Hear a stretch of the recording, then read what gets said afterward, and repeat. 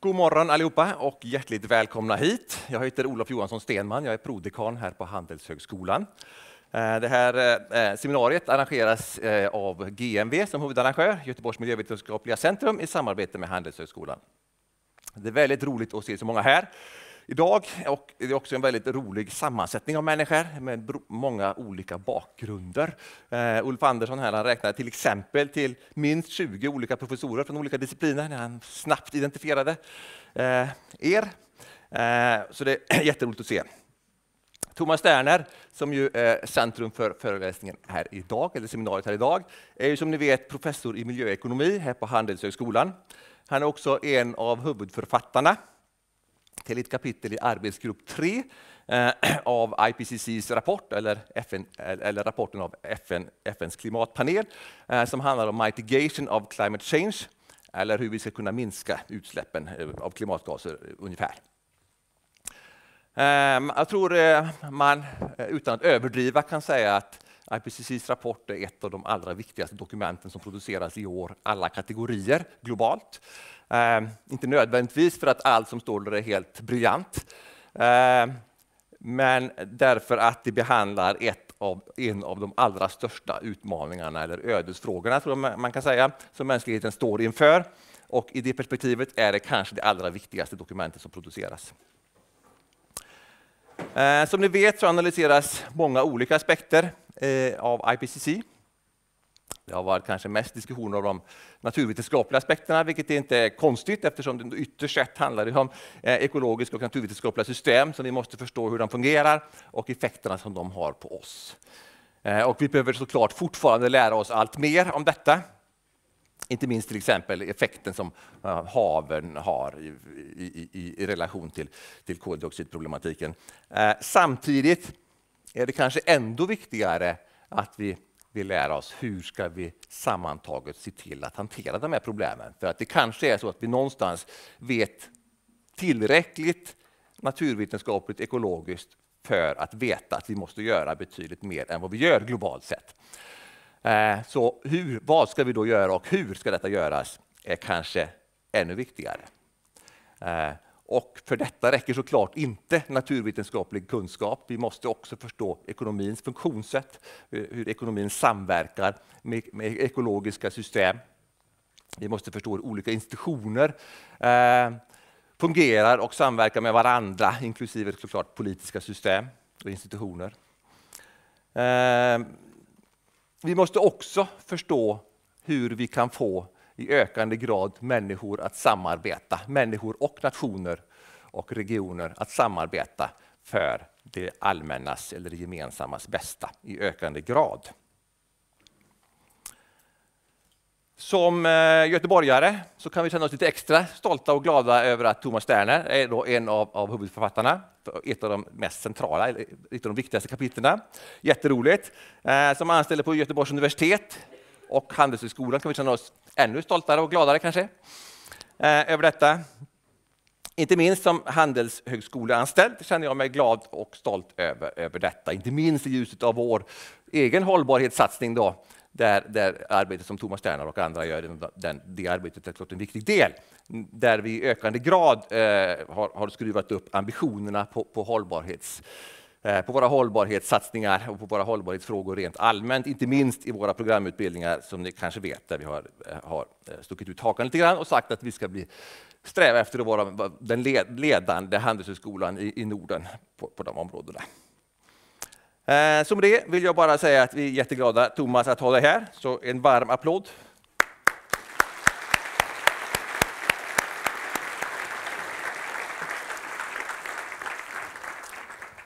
Tack ska du ha Olof. Hörs jag? Ja, det är bra, den är på. Ja, jag har jobbat med IPCC i fyra år nu och eh, tänkte berätta dels om slutsatser idag och dels lite grann om själva arbetsprocessen så att man förstår vad IPCC är för någonting. Koldioxid är ju egentligen en, en osannolik miljöbov.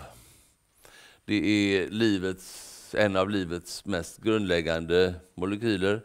Vi andas ut koldioxid allihop här inne nu som en del av vår energiomsättning när vi, när vi förbränner saker. så bildas koldioxid, vi andas ut det. Vid all förbränning så, så, så, så bildas koldioxid och det är inte farligt. Det fick jag lära mig i kemi eh, som tonåring. Eh, vid något tillfälle så Ehm, skulle kemiläraren vara lite, lite rolig och tog brandsprutan och um, öppnade i ansiktet på den elev som satt längst fram. och det var jag. och sen så, det var i England, detta är engelsk pedagogik. så sa han att, då, att uh, had this been carbon monoxide, Sterner would be dead. Carbon dioxide is not dangerous. så, um, så förklarade han skillnaden i reaktivitet då mellan kolmonoxid och koldioxid. Och så. Men det illustrerar ju det att, att um, om någonting är farligt eller inte beror på var det hamnar och i, i vilken mängd. Även potatis är, i, har innehåller dödliga gifter om man sätter i sig mer än 50 kilo eller någonting på en gång. Eh, det är också som så att det här är ett problem vi har känt till rätt länge. Inte alla, men eh, forskningen har ju känt till detta. Den här eh, roliga apparaten här byggde Tyndall på mitten av 1800-talet i sina experiment. Han skickade ljus genom en en kammare och där hade han olika hög halt av koldioxid och sen så mätte han hur mycket ljus som kom fram av olika frekvenser och så. Eh, så man visste om detta. Fourier visste om det ännu tidigare. Och um, Arrhenius, eh, den svenske kemisten, räknade ut, uh, man vet inte riktigt hur, för han fyllde ett helt rum med papper, bokstavligt talat. I flera år räknade han och räknade. Det finns papper. Papperna finns bevarade, men det är svårt att förstå. Men han kom fram till ungefär den temperaturhöjning som vi numera tror att det blir av ökad koldioxid. Eh, så han kanske hade lite tur i beräkningarna, för de är ju faktiskt väldigt komplicerade. Ehm, 1988 skapades eh, klimatpanelen IPCC.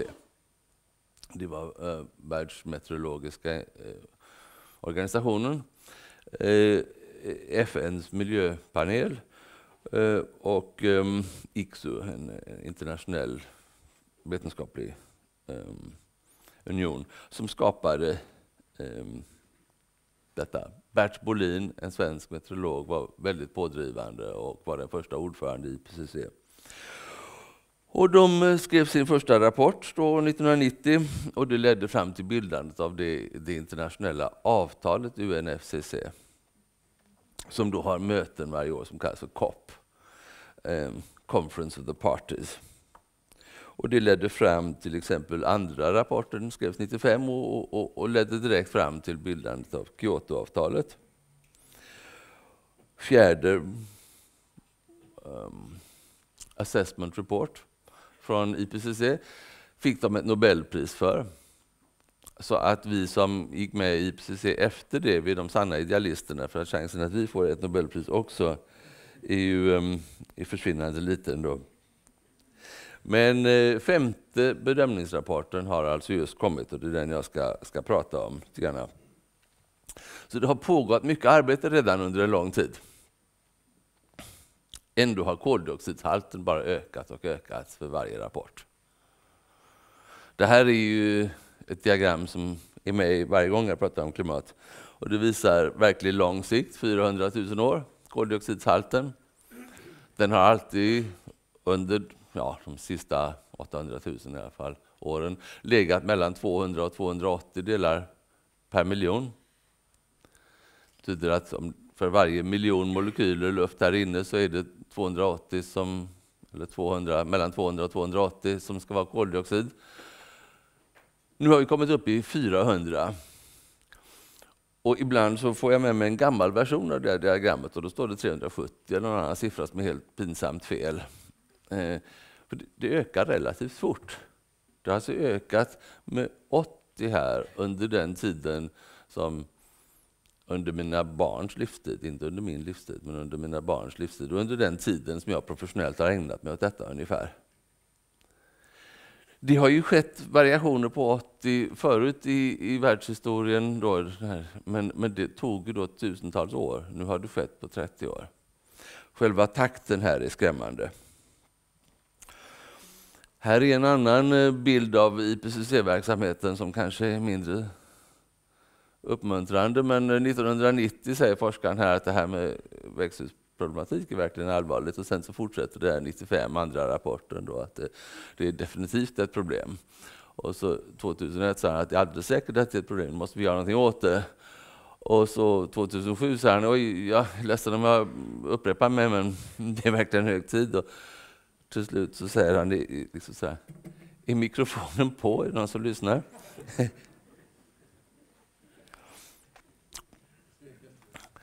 Det finns alltså tre arbetsgrupper, så har det varit hela tiden sedan, IPCC bildades. En som Olof nämnde, som sysslar med de naturvetenskapliga sammanhangen.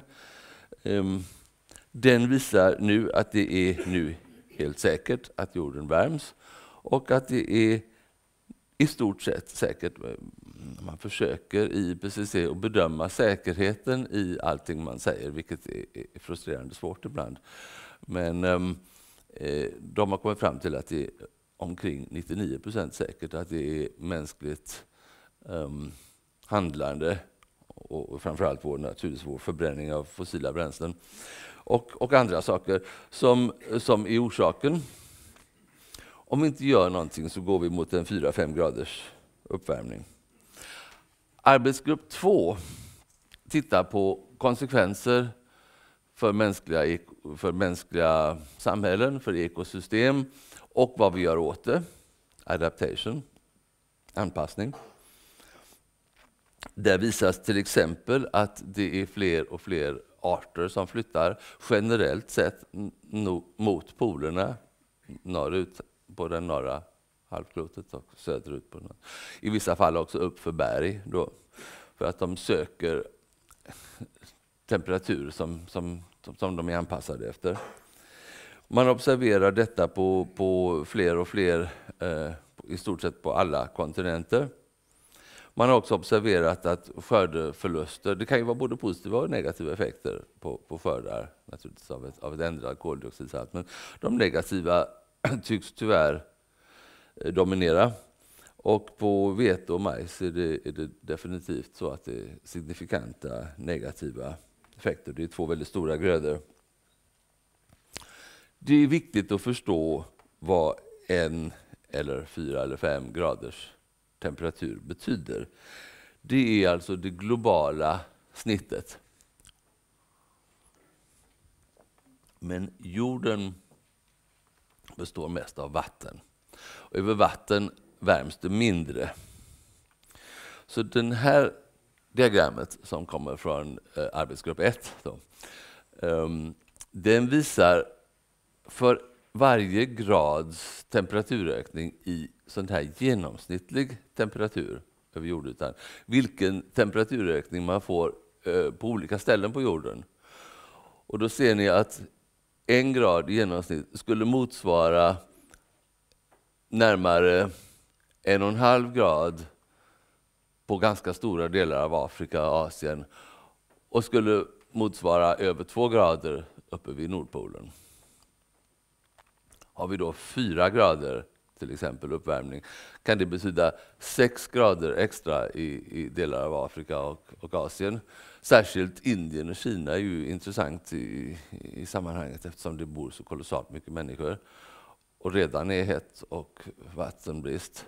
Och då börjar man tänka att det inte är fråga om någon grad, det är fråga om uppåt 6 grader på ställen där det redan är 40 grader varmt och, och, eh, och vattenbrist och folk jobbar utomhus i, i risfält. Och så.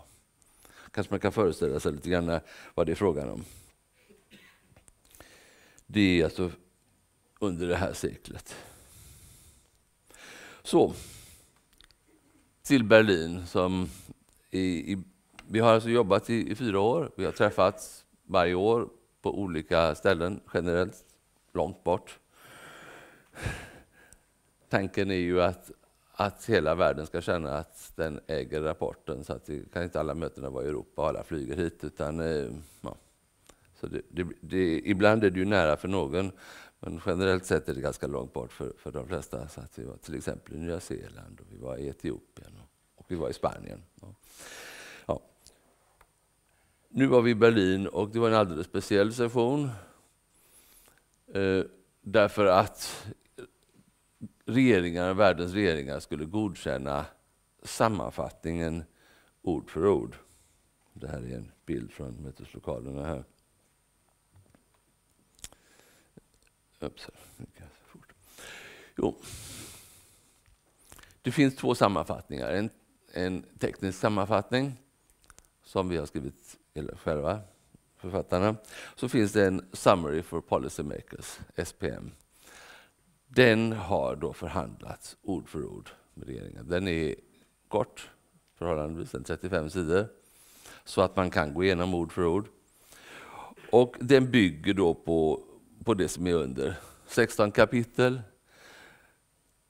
ett par hundra huvudförfattare, många hundra andra författare som har varit inblandade i att skriva specialstycken. Vi har som sagt hållit på i fyra år och filat på den här rapporten. Det har varit eh, 900 särskilt utsedda eh, redaktörer, reviewers. Vi har citerat en 10 000 referenser. Det mest plågsamma av allt var att vi fick eh, varje gång, vi skrev fyra versioner av rapporten, alltså, så mer och mer tills den slutgiltiga. Då.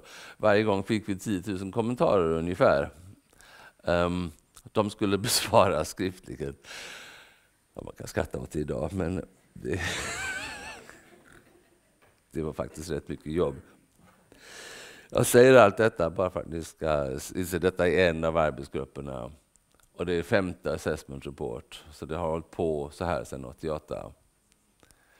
Ibland låter det på de som inte vill eh, tro på klimatförändringarna så låter det som att IPCC var fem gubbar i en källare som har kokat ihop något. Och så vill de presentera den andra sidan de här lite självutsedda motståndare. Då. Det, det, är ju lite orimligt. Här, här är en panel eh, av, av hundratals, sammanlagt tusentals personer inblandade i, som jobbar i, i, flera år. Den inkluderar redan um, folk som ja, en del som, som, som är, är väldigt klara över att, att de vill göra någonting åt klimatförändringarna. Och en hel del andra som är mera sådär att ja, men det är vårt jobb är bara att läsa forskningen och att, att, eh, att vara korrekta här och, och gå igenom. Det finns mycket olika åsikter redan presenterade. Um, så får man ständigt en, två frågor. Då. Vad är det som är nytt? Och vad rekommenderar FN-panelen? Och svaren är lite, eh, lite negativa här, bägge fallen. Vi rekommenderar ingenting. Um, utan vi presenterar en genomgång av forskningen. Och så um, säger vi att om man vill hålla klimatet under två grader så, så måste man troligtvis göra si och så. Vi säger inte att man måste. Jag kanske gör det när jag pratar, för att det är ju trots allt Thomas Sterner som pratar och inte en panel här. Så. Men, ehm, men panelen är väldigt försiktig. Det står inte liksom att vi rekommenderar eller man måste, utan det står att vill man göra så, så får man göra så här. Sen är ju också frågan vad som är nytt. Och det är ju inte särskilt mycket på ett sätt. Därför att det här är ju femte assessment report, det håller på kontinuerligt. Forskning är, till sin karaktär för all del nytänkande, men också relativt försiktig. Forskare är försiktiga. Vi vill inte publicera saker och ting som, är, som är, kan ifrågasättas eller som är fel. Um, när vi ska publicera någonting så ska det referigranskas. För att komma in i tidskrifter är, är det en hel procedur som också på något sätt ser till att, att vara försiktig. Att se till att inte eh, spekulationer publiceras.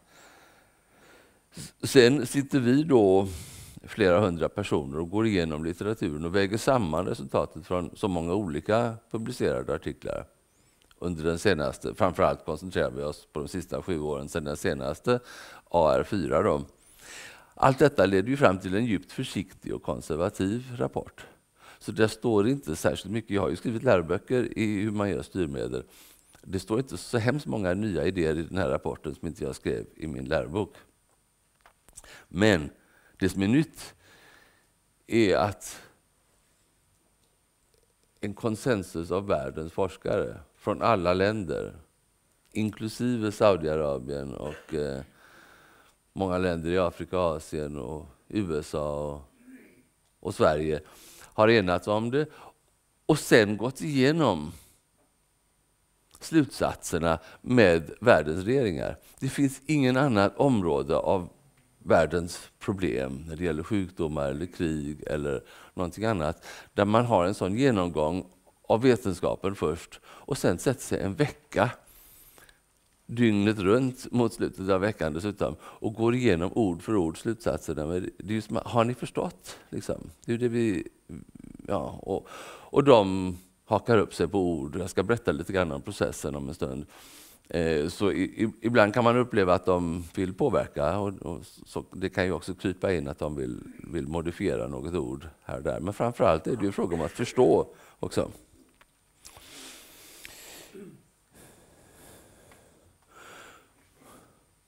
Medan vi jobbar så ökar koldioxidutsläppen. Ehm, det är ju inte bara koldioxid. Ehm, vi har eh, det gula är, kväve, är, koldioxid. Eh, det orangea är koldioxid som kommer från eh, areella näringar, framförallt avskogning. Men sen har vi metan också i, i ljusblått och dikväveoxid i, i mörkblått och, och lite annat.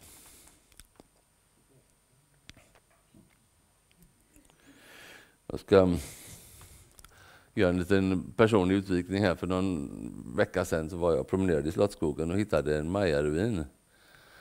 Det var väl oväntat. Någon av er som har sett den? Så här ser den ut på baksidan. Och så kommer man runt på framsidan så ser man att det är en gammalt skidhoppsanläggning. Det är jättelika stenar som bygger upp denna. Det var därför som jag tänkte på analogin med en maya-ruin. Det kändes så. Um, man skulle inte bygga en sån sak om man inte var helt säker på att det var flera månader snö varje år i Göteborg. Och det, där ser man att eh, klimatet ändras, men det går så pass långsamt att vi inte riktigt tänker på det. Men um, det här är ju ett exempel. Det är ett exempel, liksom fästingarna är ett exempel på förändringar som, som inträffar. Och, och det är ju sånt som arbetsgrupp 2 har samlat på sig och, och hittat i, på alla kontinenter. Så. Här kan vi se um, utsläppen över tid. Nu har jag inte någon pekare, men om ni um, ser mittenpanelen här eh, visar koldioxidutsläpp från, ehm, det är framförallt förbränning, men det är även cementtillverkning och, och lite annat. Och det ljusblå är OECD-länderna, de rika industrialiserade länderna. Det gröna är Asien och ni ser att idag har Asien ju, är lika stort som eh, OECD-länderna. Den nedersta panelen här, det är eh, areella näringar, då, det är skog framför allt. Och där kan man se att det, ljusblå, det lilla ljusblå där, det är alltså avskogningen som Europa och USA ägnade sig åt. Det var på 1800-talet. Nu för tiden växer skogen istället i, i vår del av världen. Men det finns andra länder där man avskogar och det leder ju också till utsläpp av koldioxid. Så vi vill ju försöka förstå vilka verksamheter det är och på vilka platser och hur det är kopplat till, till ekonomisk utveckling. I ett sånt här diagram kan man se en sektornedbrytning. Titta till vänster här, det första det orangea där till exempel, det är transport. 14 procent av utsläppen kommer från transportsektorn. Plus Sen är det utbrutet där det finns indirekta utsläpp också genom elproduktion. Och när det gäller transport så är det ganska lite, det är lite järnvägar och spårvagnar, det blir bara 0,3 där. Men ser man på byggnader så har du 6% i direkt förbrukning och sen 12% ytterligare genom elförbrukning, till exempel i luftkonditionering eller uppvärmning i olika delar av världen.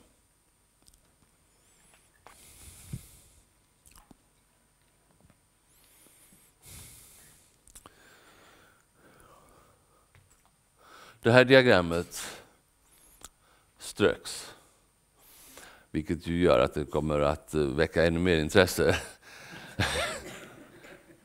Det ströks ur den här sammanfattningen för beslutsfattare, så det finns ju kvar i den tekniska sammanfattningen och i rapporten. Det finns kvar i rapporten. Men um, här eh, stötte vi på politiken. Vi, vi, vi går snart in i, i, i avgörande, hoppas vi, förhandlingar COP 15 i, i, i Paris 2015. Eh, um, till exempel och Lima dessförinnan hoppas vi ska leda fram till, till avtal. Det hoppades vi ju redan i Köpenhamn för ett antal år sedan. Um, några hoppades mycket, andra insåg att det var kanske för tidigt då.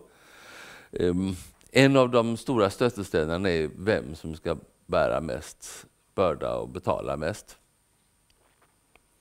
Och I Kyotoavtalet finns det då en uppdelning mellan de så kallade annex 1-länder och icke-annex 1-länder. Annex 1-länder är i princip då, um, uh, de rika OECD-länderna.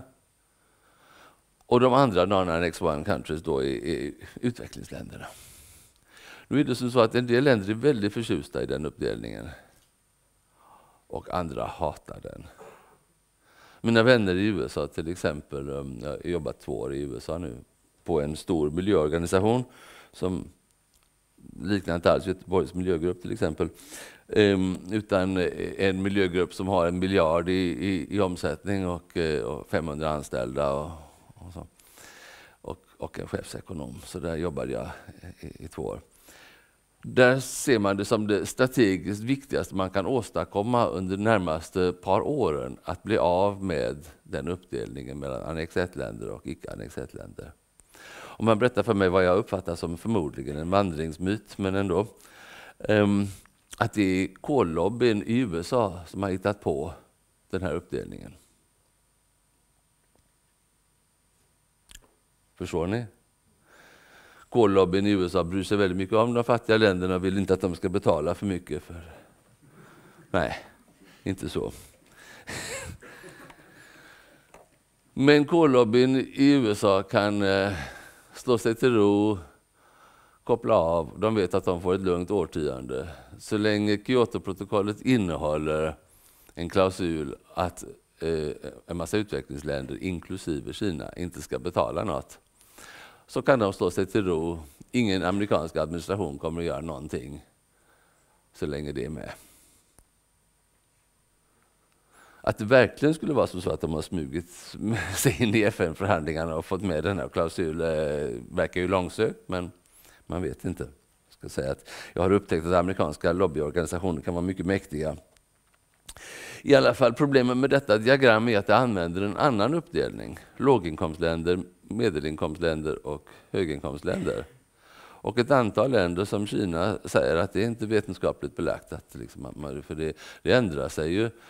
Vissa länder kan vara låginkomstländer ett år som de själva då, och sen år tio, tio år senare är de medelinkomstländer och så vidare. Det är inte ett vetenskapligt begrepp.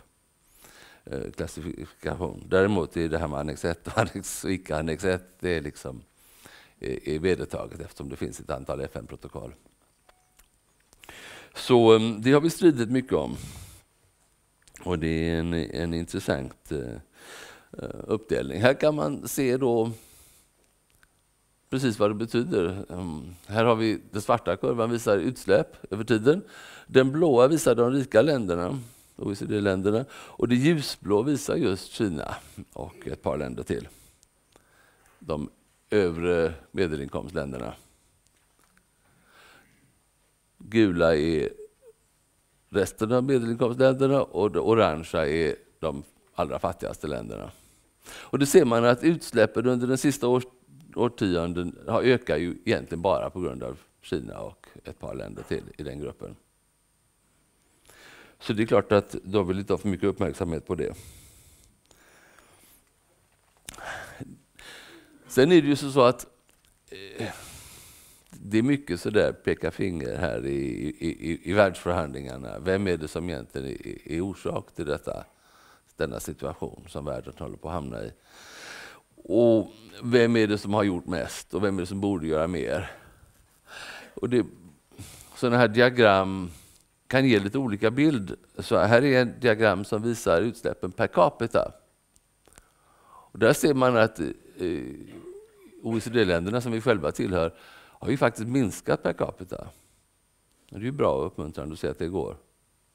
Men eh, så ser ni att det har ju ökat väldigt mycket i Kina.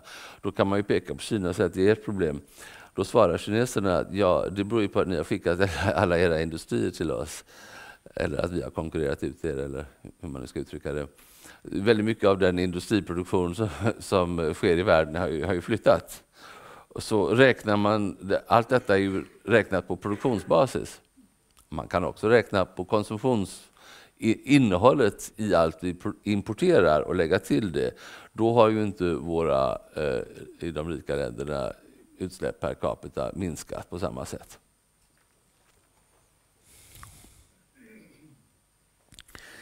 Inom varje land finns ju också en väldigt stor spridning. Det får man inte komma glömma. I Indien finns ju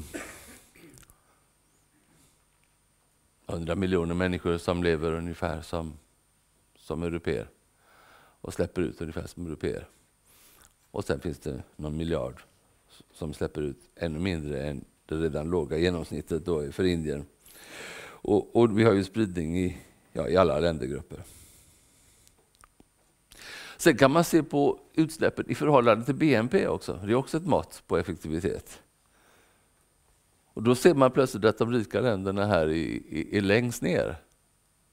Det här diagrammet tycker ofta amerikaner mer om. Då, så Det visar att det är någorlunda effektivt eh, att, att, att rika länder är, är mera, till och med USA som annars har väldigt höga utsläpp, då, um, effektiva i förhållande till BNP. Och, då är problemet snarare, pekar man, ja, men i fattiga länder så sker BNP-produktionen på ett sådant ineffektivt sätt. Vi kanske kan hjälpa dem att förbättra effektiviteten där, så får vi ner utsläppen. Här är återigen ett av de um, förbjudna diagrammen som, uh, som visar just hur de här övre medelinkomstländerna um, står för en väldigt stor del av ökningen och, och i stort sett hinner ikapp de rikaste länderna.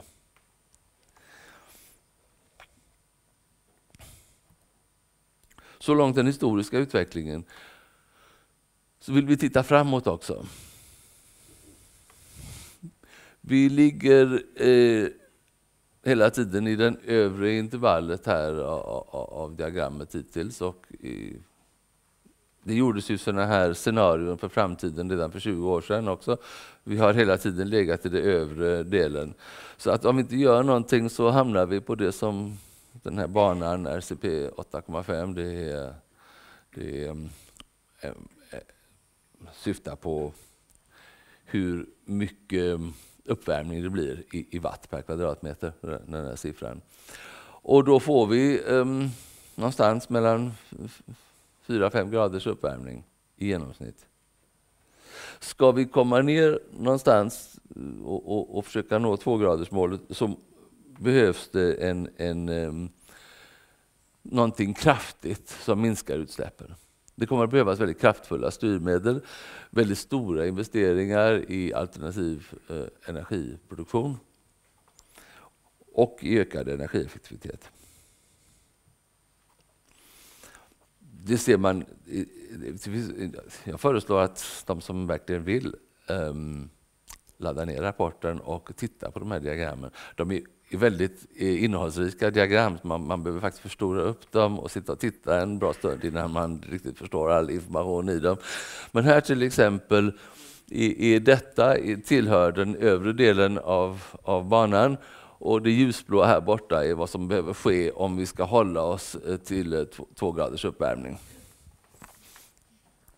Och det visar för olika tidpunkter, 2030, 2050 och 2100, hur mycket vi måste ha gjort då eh, i eh, till exempel exempelvis då eh, icke-fossil energiproduktion.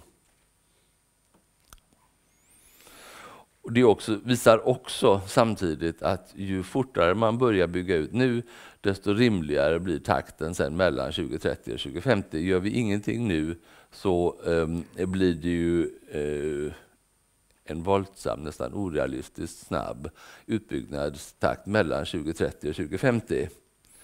Um, ehm, man kan gå tillbaka ett ögonblick till den här diagrammen.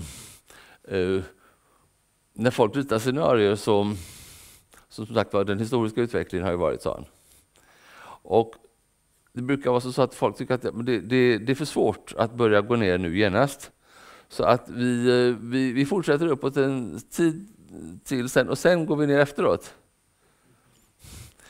Ska man nå samma mål så måste man gå ner brantare här då.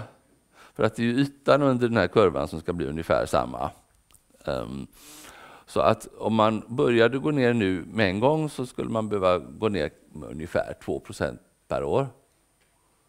Väntar vi till 2020 så blir det 3% per år. Väntar vi till 2030 blir det en jättehög siffra per år.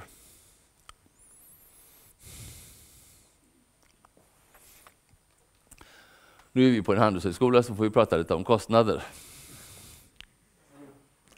Men det här är storleksordningen mer komplicerat än att gå in på NK och eh, ställa sig frågan vad kostar en ny kostym? Ehm, så vi måste förklara vad kostnad är i det här sammanhanget först. Och Då är det till exempel inte förlorad BNP. BNP är inte ett mått på välfärd. Och eh, BNP är, är liksom bara ett mått på allt vi producerar. Ett mycket bättre mått är hur mycket vi förlorar i konsumtion. Och man kan tänka ungefär så här att om vi har en jämn och fin utveckling, vi, kan inte, vi får ju bortse från konjunkturförändringar och kriser och annat. Har vi en jämn och fin utveckling på säg 2 per år tillväxt globalt under resten av det här århundradet. Då blir vi för övrigt fem gånger rikare eh, år 2100. Ja. Um, vad blir skillnaden i konsumtion om vi då ändrar på energisystemet? Om vi bygger solceller är lite dyrare än kol. Det är liksom kärnan i problemet. Det betyder att då satsar vi en större andel av BNP på, på vårt energisystem. Vi skaffar oss solceller istället för kolkraftverk. Då blir elen lite dyrare och det blir mindre pengar kvar till ost och vin. Det är en samhällsekonomisk kostnad. Så det där med ost och vin var ett skämt. Men i övrigt är det helt allvarligt. Det är så vi mäter Eh, en förlust här. Det är skillnaden i konsumtion och en stor del av den skillnaden beror på att vi då skaffar oss dyrare insatsvaror här till energisektorn. Mäter man på det sättet så tror vi att vi kommer ha en förlust på 1,7 procent, alltså medianen på, på olika prognoser.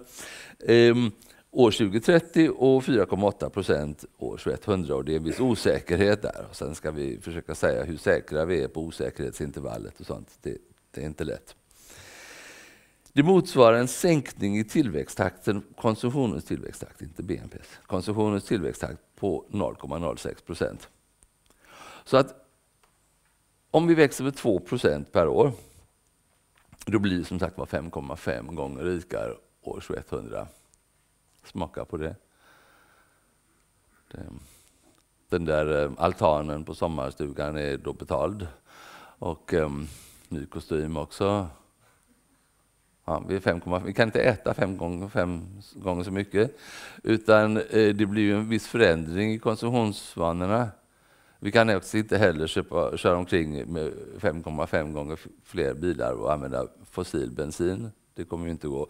Utan det är en förändring i konsumtionsmönstren men, men samtidigt en tillväxttakt. Det är inte fråga om att vi då förlorar, att vi bli, ska bli fattigare än vi är idag. Än mindre gå tillbaka till stenåldern. Så är det inte ens fråga om att vi ska bli fattigare utan det är fråga om att vi ska bli rikare, långsammare. Eh, med en omställning då av klimatsystemet så skulle vi bli 5,2 gånger rikare år 2100 istället för 5,5 gånger rikare. Eh, vi får vänta till juli eller augusti 2102 innan vi är 5,5 gånger rikare. Och eh, för säkerhets skull så gjorde jag ett diagram, men nu hamnade det där. Mitt diagram. Ehm, på skillnaden i, i inkomst eh, eller konsumtionsutveckling. Då.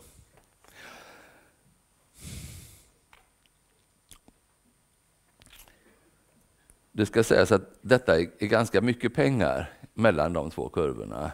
Om BNP idag är ungefär 100 000 miljarder dollar eh, så kommer den vara fem gånger det år 2100 och då kan vi räkna ut förlusten och, och den, ni ser, det täcker ju hela skärmen, det är jättemånga dollar och ännu fler kronor.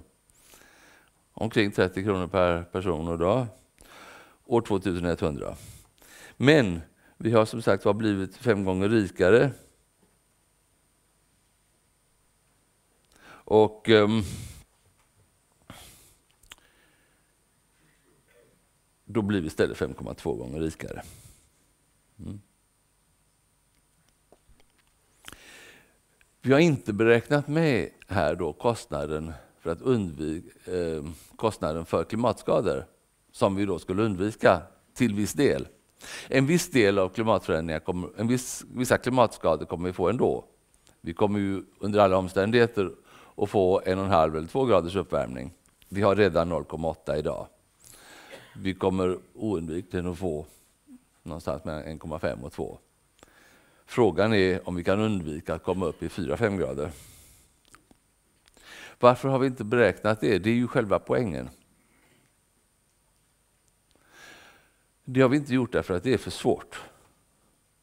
Det finns lite forskning på detta, men inte så mycket forskning att man kan tala om en konsensus. Det finns, alltså, det finns folk som försöker att göra detta, men det stöter på en rad väldigt svåra etiska, ekonomiska och klimatmässiga osäkerheter och andra etiska problem. Det, för det första är det väldigt osäkert exakt vad som kommer hända. Vi vet ju inte riktigt hur fort havet stiger och vilka delar av Bangladesh som dränks. Och, och hur, ja. Sen är det fördelningseffekter inblandade. Om, om marken i Bangladesh är mycket mindre värd än den i New York med konventionell, om man går ut och ska försöka samla in data så är det ju så. När man eh, räknar Trafikverket i Sverige och, och, i andra länder, när de räknar på vägar, så är det ju så att raka vägar eh, leder till färre olyckor. Och så då har man kostnader för att bygga en väg och så har man intäkter, man tjänar tid till exempel. Och så tjänar man också in ett visst antal statistiska liv då med en rak väg eh, leder till färre olyckor. Och det brukar man konventionellt ha då ett värde på ett statistiskt liv i olika länder. Och vad är siffran i Sverige idag? 10 miljoner eller något? 20 miljoner, vi har gått upp i värde. Med men det bangladeshiska trafikverket, om de gör detta så blir det ju en halv miljon kanske för att eh, man använder samma metoder där. Det är baserat, det är relaterat till, till konsumtion över livstid och sånt. Men om vi då skulle sitta i FN och säga att ja, där dog så många bangladeshier och så, som, och så en svensk och så ha olika pris på detta så um, är ju det djupt oetiskt och det, var, det försöktes i AR3 att göra en sån kalkyl och det blev en skandal. Um, så det är ju ett problem. Sen är det ju ett problem att, att jämföra folk som dör nu med folk som dör i, i framtiden, diskonteringsproblemet. Och sen är, ja, ni ser, det är helt enkelt som så att vi tror oss veta att kostnaden för att inte handla är många gånger fler än kostnaden av att bygga solceller istället för kolkraftverk och eh, göra någonting åt energisystemet. Men vi, kan inte, vi har inte kvantifierat detta exakt här.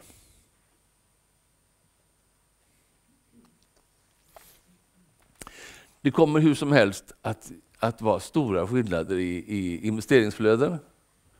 Här ser man till exempel ökning i energieffektivisering längst bort till höger. Här borta. Sen har vi minskade investeringar i olja och kol, i fossila bränslen. Sen har vi ökningar här borta i förnybar energi. Och lite små andra saker som är osäkrare. Här har jag sammanfattat lite grann av vad som behöver göras.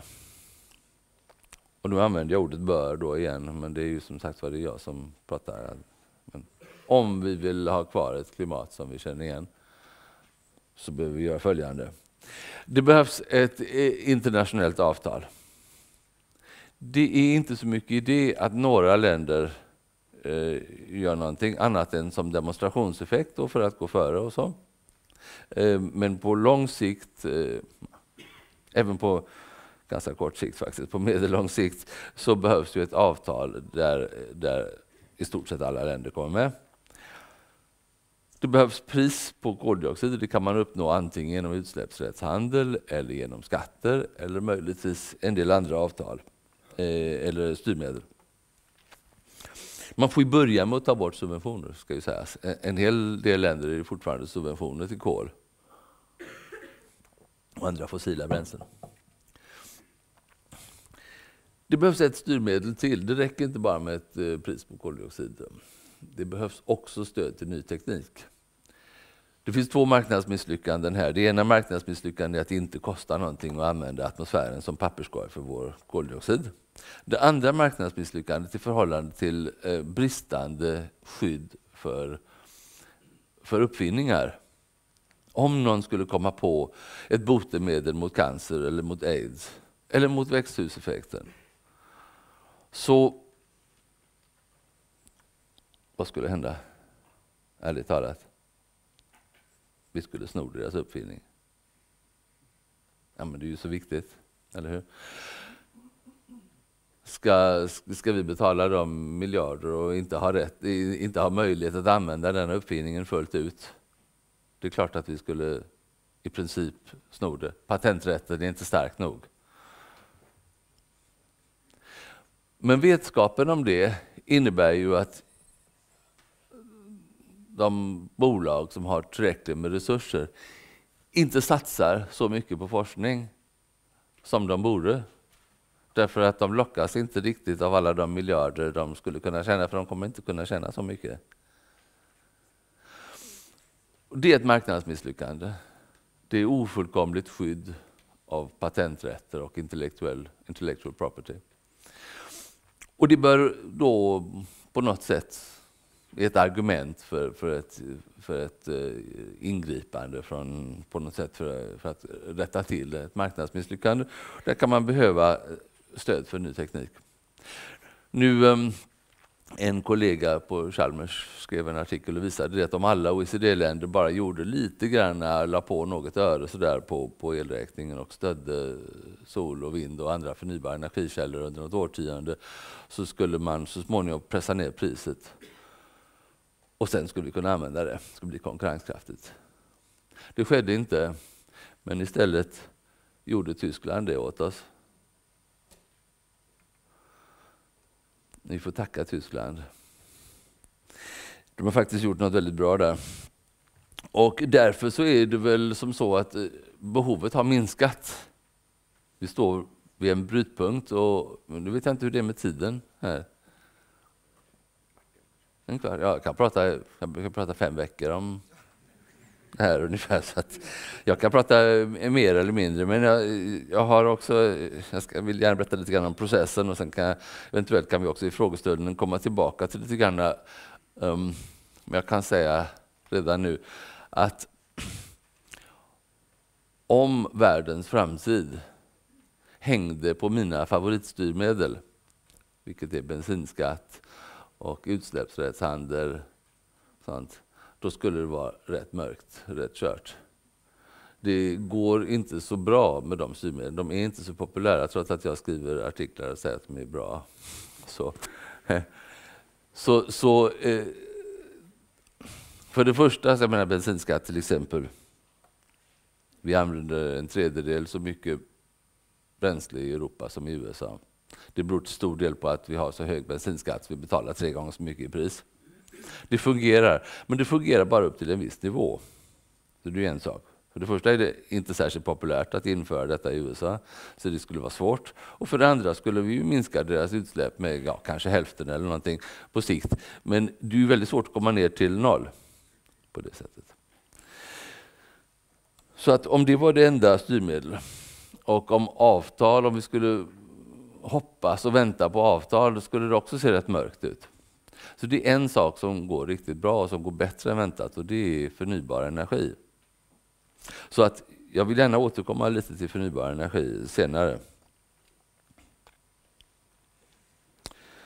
Så här ehm, bra går det med det där med avtal. Ni vet, det här, det här är, är en bild från den inre kretsen i Köpenhamn när Obama till slut kom och Merkel och alla var där.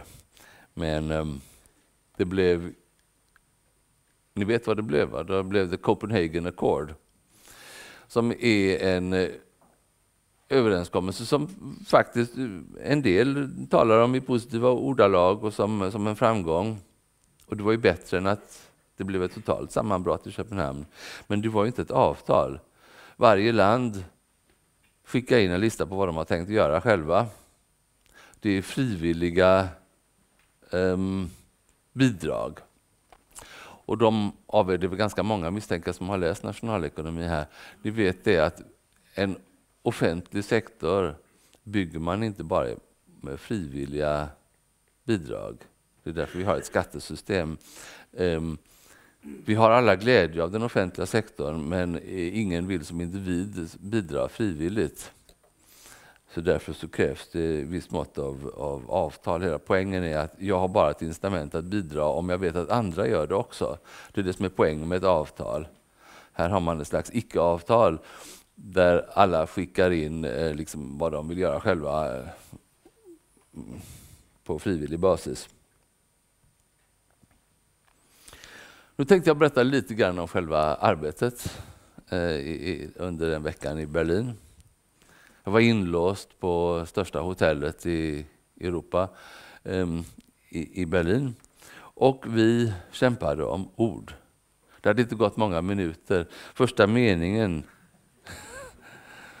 var att klimatsystemet är en allmänning. USA reste sin eh, eh invändning. Eh, nej, det, det, de kunde inte gå med på ordet eh, allmänning. Och, och då, det ska sägas att alla uttrycker sig väldigt artigt och hela debatten förs i vetenskapliga termer så de ifrågasatte om det verkligen var rätt term. De säger inte bara att vi har mycket, liksom, vi är stora och liksom, utan de säger att eh, nej, men vi undrar om det verkligen är rätt term. Och säger att det kan missförstås. Och i, i, i USA så i um, juridisk användning så skulle det ha en annan bemärkelse eh, än och så. Så att eh, då blev det några timmars diskussion. Eh, så ordförande samlade in ett antal synpunkter från olika länder. Nigeria ställde sig upp och passade på att förklara för USA vad en allmänning var. Ganska, ganska roligt. Mexiko försvarar allmänningar, Brasilien vill inte ha allmänning heller. Brasilien är väldigt rädda att om klimatet blir förklarat allmänning så kommer också Amazonas förklaras som en allmänning och så kommer de snart inte få bruka den som de vill. Här är, är väldigt fin samling duktiga kollegor som då dra sig tillbaka på podiet och låtsas fundera över, liksom, ja, men har vi fått en invändning här? Det kanske inte är en allmänning och så, så står Charlie Colstad, och Howard Conrader och Ottmar Edenhoff och några andra där liksom säger i klimatsystemet en allmänning? Sätter de sig ner igen och säger att jo men um, forskarpanelen här ehm, um, insisterar på att litteraturen säger att det är en allmänning och sen så Ja, säger USA, nej men det tror vi verkligen inte. Eh, och så, då bildas en kontaktgrupp. Och eh, de får gå ut. USA, Brasilien, Mexiko och några andra. Eh, det är därför man behöver en stor delegation. Så att man kan, så kan man, ska man ju ändå ha någon kvar. Um, Mali kan inte göra så, de har bara en person där. Om den går ut så är det ingen kvar i salen. Så det, det, är en viss orättvisa. Eh, men då någon forskare och ett antal länders representanter går ut och eh, är borta några dagar för att eh, lösa detta. Lösningen blev så småningom just den jag hade den här um, att um, eh, climate change implies the need for collective action because the atmosphere det, nej, det var ett mellanförslag detta. Det blev um, collective action blev kvar eh, och sen så stod det, blev det en fotnot. Och I fotnoten står det att in the social sciences this is often referred to as a global commons problem. Så blev det. ja. Nu kom vi till styrmedel och jag hade glädjen att sitta där på podiet. Och, eh, och då hade vi, det finns två sidor ungefär som handlar om styrmedel som är med. Och um, med flera ganska känsliga saker. Då hade vi, då hade vi redan fastnat på, på frågan om allmänning. Vi hade fastnat på eh, en rad andra känsliga ord. Och jag tänkte, hur ska det gå med koldioxidskatter, utsläppsrättshandel, avskaffade subventioner och annat som, som vi hade. Um, genomgången av styrmedel som, som vi har är då en del av våra slutsatser att, att under de senaste åren har man använt mera sektorspecifika styrmedel och mera reglering.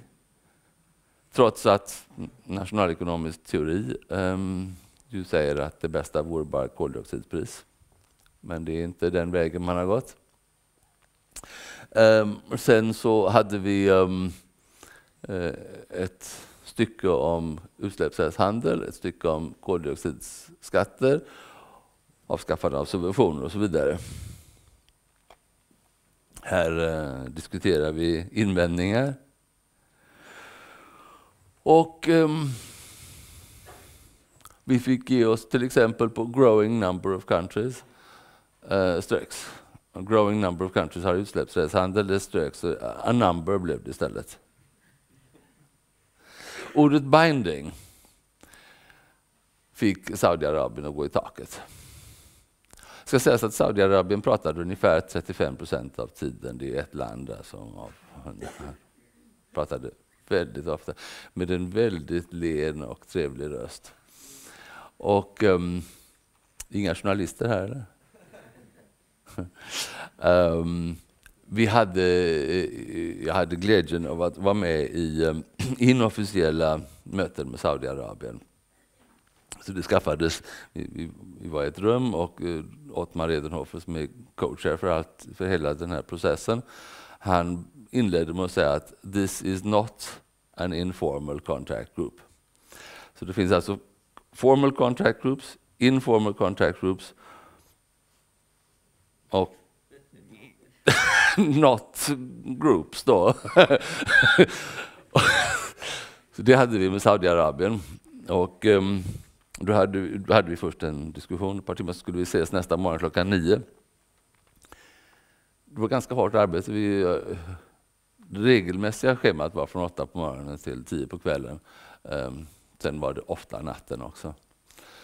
Um, men i alla fall, jag satte väckarklockan och skulle upp där till klockan nio. Och så får jag ett, ett, ett um, e-mail från den tyska Technical Support Unit som, som skötte hela, hela förhandlingen där. Men kallelse uppfattade till ett annat möte klockan nio. Och då svarade jag att det, det, kan jag inte gå på för att jag ska ju på mötet med, um, ja, you know who. Då skickade de ett bud och sa att du får inte skriva sådär. Um, ehm, det är samma möte, men vi skriver ju inte att saudierna kommer. Vi räknar med att amerikanerna läser alla e-mails. De vågar inte ens säga ordet Saudi. Typ när de pratade på fik kallade de dem för smurfarna. Det är lite roligt.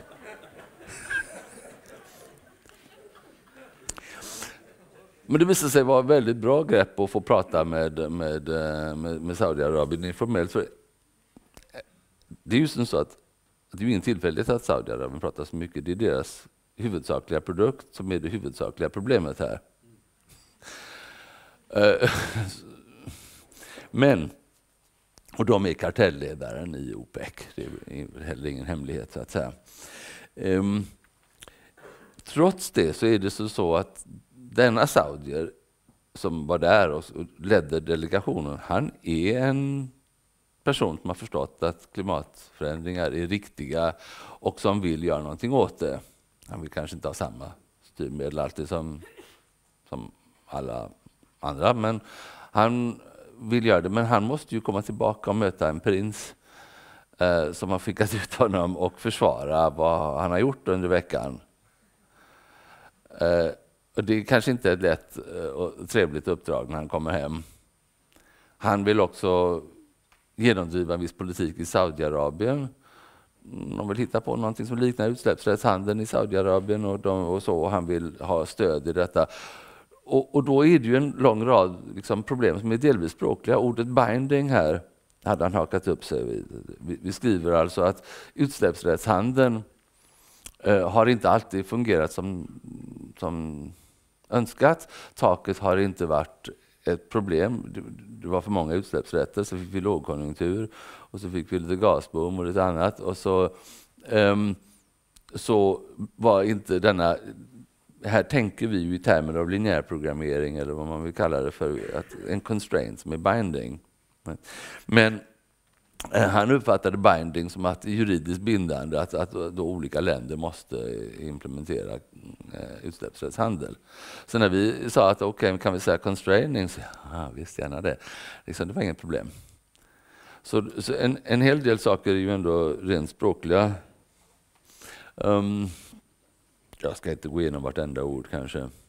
Många Många ord var det Saudiarabien älskade att säga detta. Fossil fuel combustion. Det är bara en av alla sektorer. Varför?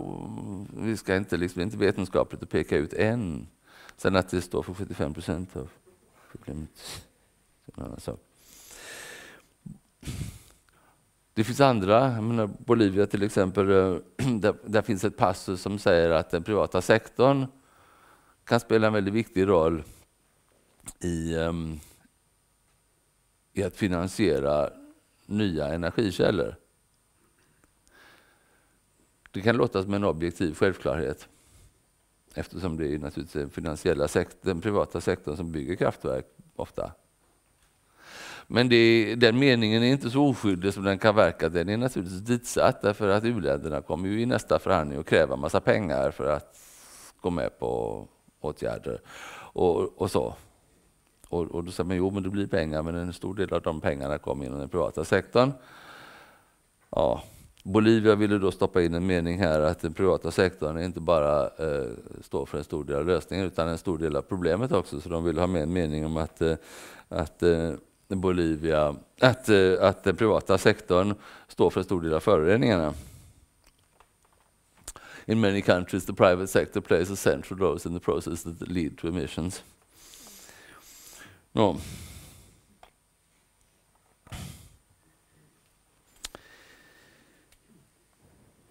Hur var det med tiden, Olof? Fem minuter? Ja. Jag ska... Um, sista nätterna jobbade vi dygnet runt. Japanska delegationen såg alltid lika pigg ut. De var 25 man och sa nästan ingenting. Jag gick runt och pratade med många delegater från Afrika och från andra utvecklingsländer. Och ofta en person med kanske en master i water management eller något sånt där som, som um, har väldigt svårt att stå sig mot uh, amerikanska delegationer där alla hade en doktorsgrad. Och det var lite roligt att reta dem med detta med att de inte trodde på the global commons fastän de var doktorer i miljöekonomi. Här är min bästa vän där, eh, Somanathan från Indien, som har varit här många gånger på Handelshögskolan och som stannade uppe för att försvara en mening om, om subventioner när jag gick och la mig. Så. Man kan undra om, ehm, om allt detta är möjligt. Vi har hållit på så här i 25 år och petat i, i, i, i meningar och, och egentligen behövs det alltså ett väldigt radikalt handlande. Det behövs eh, en omfattande investeringar i, i, i energieffektivisering. Det behövs internationella avtal. Det behövs dramatisk utbyggnad av, av sol och vindenergi. På hotellets eh, gård hittade jag den här eh, bilden av Berlinmuren. Och jag minns att jag läste Ensenberger någon gång innan Berlinmuren föll. Han var smart nog att förutspå att en dag skulle Berlinmuren bli en kuriosa och det skulle finnas hembygdsföreningar för att försvara Berlinmuren. Men det var han ganska ensam om. De flesta trodde att Berlinmuren var helt permanent. Och kanslern i Tyskland sa ett par veckor innan den föll, sa han att jag hade ju inte fråga om att återförena Tyskland. Men det var det ju. Eh, den, den verkade väldigt solid den där muren innan den föll. Och det, liksom att det verkade ganska omöjligt att, att svarta män skulle bli presidenter i Sydafrika eller i USA. Saker och ting verkar ofta ganska hopplösa innan de händer. Och nu skymtar vi faktiskt en, en del lösningar. En av dem som är just att, att förnybar energi faktiskt går väldigt mycket bättre än väntat. Och, eh, det är någonting vi skulle kunna återkomma till om, om ni vill i, i frågestunden. Jag har um, ungefär lika mycket bilder om, om förnybar energi och eh, prisutveckling och annat på, på sol och vind. Och, uh, det, jag tror att det är en, en viktig del. Den är inte tillräckligt. Det är inte så att detta kommer att gå av sig självt. För att även om vi bygger mycket solenergi så eh, betyder det inte att kol är fortfarande kolossalt billigt. Och, eh, och eh, alla länder måste faktiskt tvingas upphöra med att elda och bryta kol under det här seklet. Det är inte lätt. Men det är klart att det är lite lättare om vi kan erbjuda ett fullvärdigt alternativ i form av, av förnybar energi till rimliga kostnader, eller kostnader som kanske så småningom måste delvis subventioneras för vissa länder. Så jag slutar där för nu. Ja.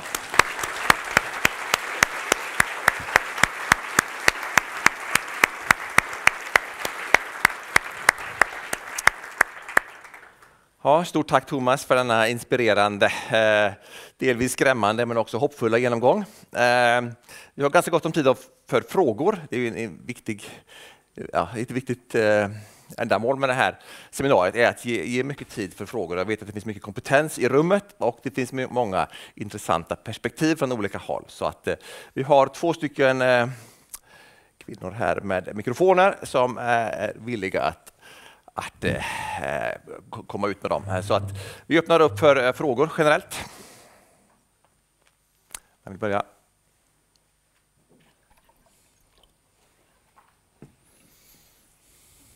Ja, hej, jag heter Sven Linder och jag är en sån där föraktad naturvetare som ska reagera på era ekonomiska styrmedel vad jag förstår.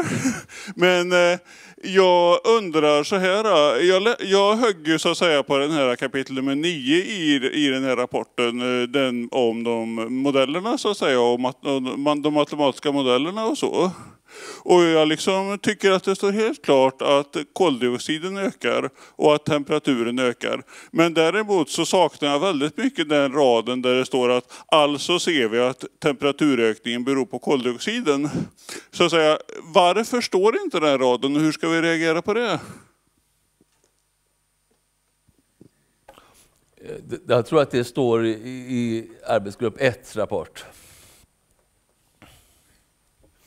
Så det, står i, det, det tillhör i alla fall arbetsgrupp 1 område. Och jag har läst eh, lite delar av deras sammanfattning, men jag har inte läst hela. Den är ju, det är ju 2000 sidor till, så det har jag, jag är ju inte meteorolog. Så att jag,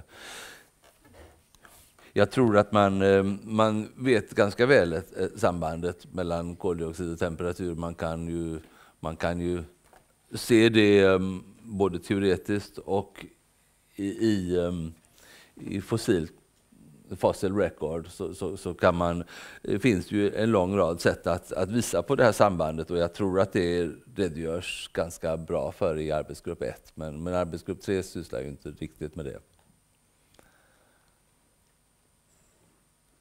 Okej. Okay. Filip Jonsson eh, från Chalmers, en annan eh, högskola i Göteborg. Eh, vad heter det? Eh, du sa att eh, med ökade, eh, eh, att det har gått, det håller jag med om, det har gått väldigt snabbt med utveckling av förnybara tekniker som sol och vind och så sa du att det gör det lite lättare att kanske byta ut kol och sånt. Men vad vi har sett är ju att när det blir mer av en teknik så kommer det också finnas mer fossila bränslen kvar. Eh, du som ekonom, jag tänkte, hur tänker du kring det? Eh, det kanske blir svårare, man får bara mer av allting så att säga. Det är bra att det finns mera eh, fossila bränslen kvar, så att säga. Det, det är ju kvar vi vill ha dem, så att säga. Men jag förstår hur du menar. När de, är, när de inte används så faller de ju lite i pris. Och då blir det en slags rebound-effekt. Och det är ju en, eh, en viktig mekanism som vi, ehm, som vi räknar med och tittar på. Och så. Men, eh, men rebound-effekten är ju inte 100 procent. Eh, det är ju ändå så att, att vi slutar vi använda ehm, minskar vi efterfrågan på kol till exempel så faller priset mm, särskilt på kort sikt. Och, um, och det är ju ett, ett incitament och vi, vi, ser ju en, en hel del sådana um, såna förändringar. Det, det regnade mera i Asien, i Kina, år 2000, antingen 11 eller 12. Kina är stort. Det blev alltså en bortåt 100 terawattimmar extra, det är ungefär som hela den svenska elproduktionen, eh, vattenkraft.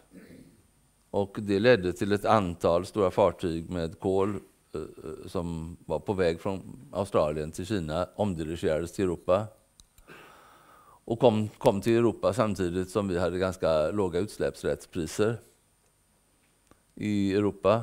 Och då var det ett antal kraftverk i Europa som brände mera kol och mindre gas och tjänade pengar på det under 2011 och 2012. Och då såg det ut då, då är, Alltså våra koldioxidutsläpp i Europa de, de, de är ju under det här eh, utsläppsrättshandelssystemet så de ökar inte direkt men, men från energisektorn så, så ökade de ju.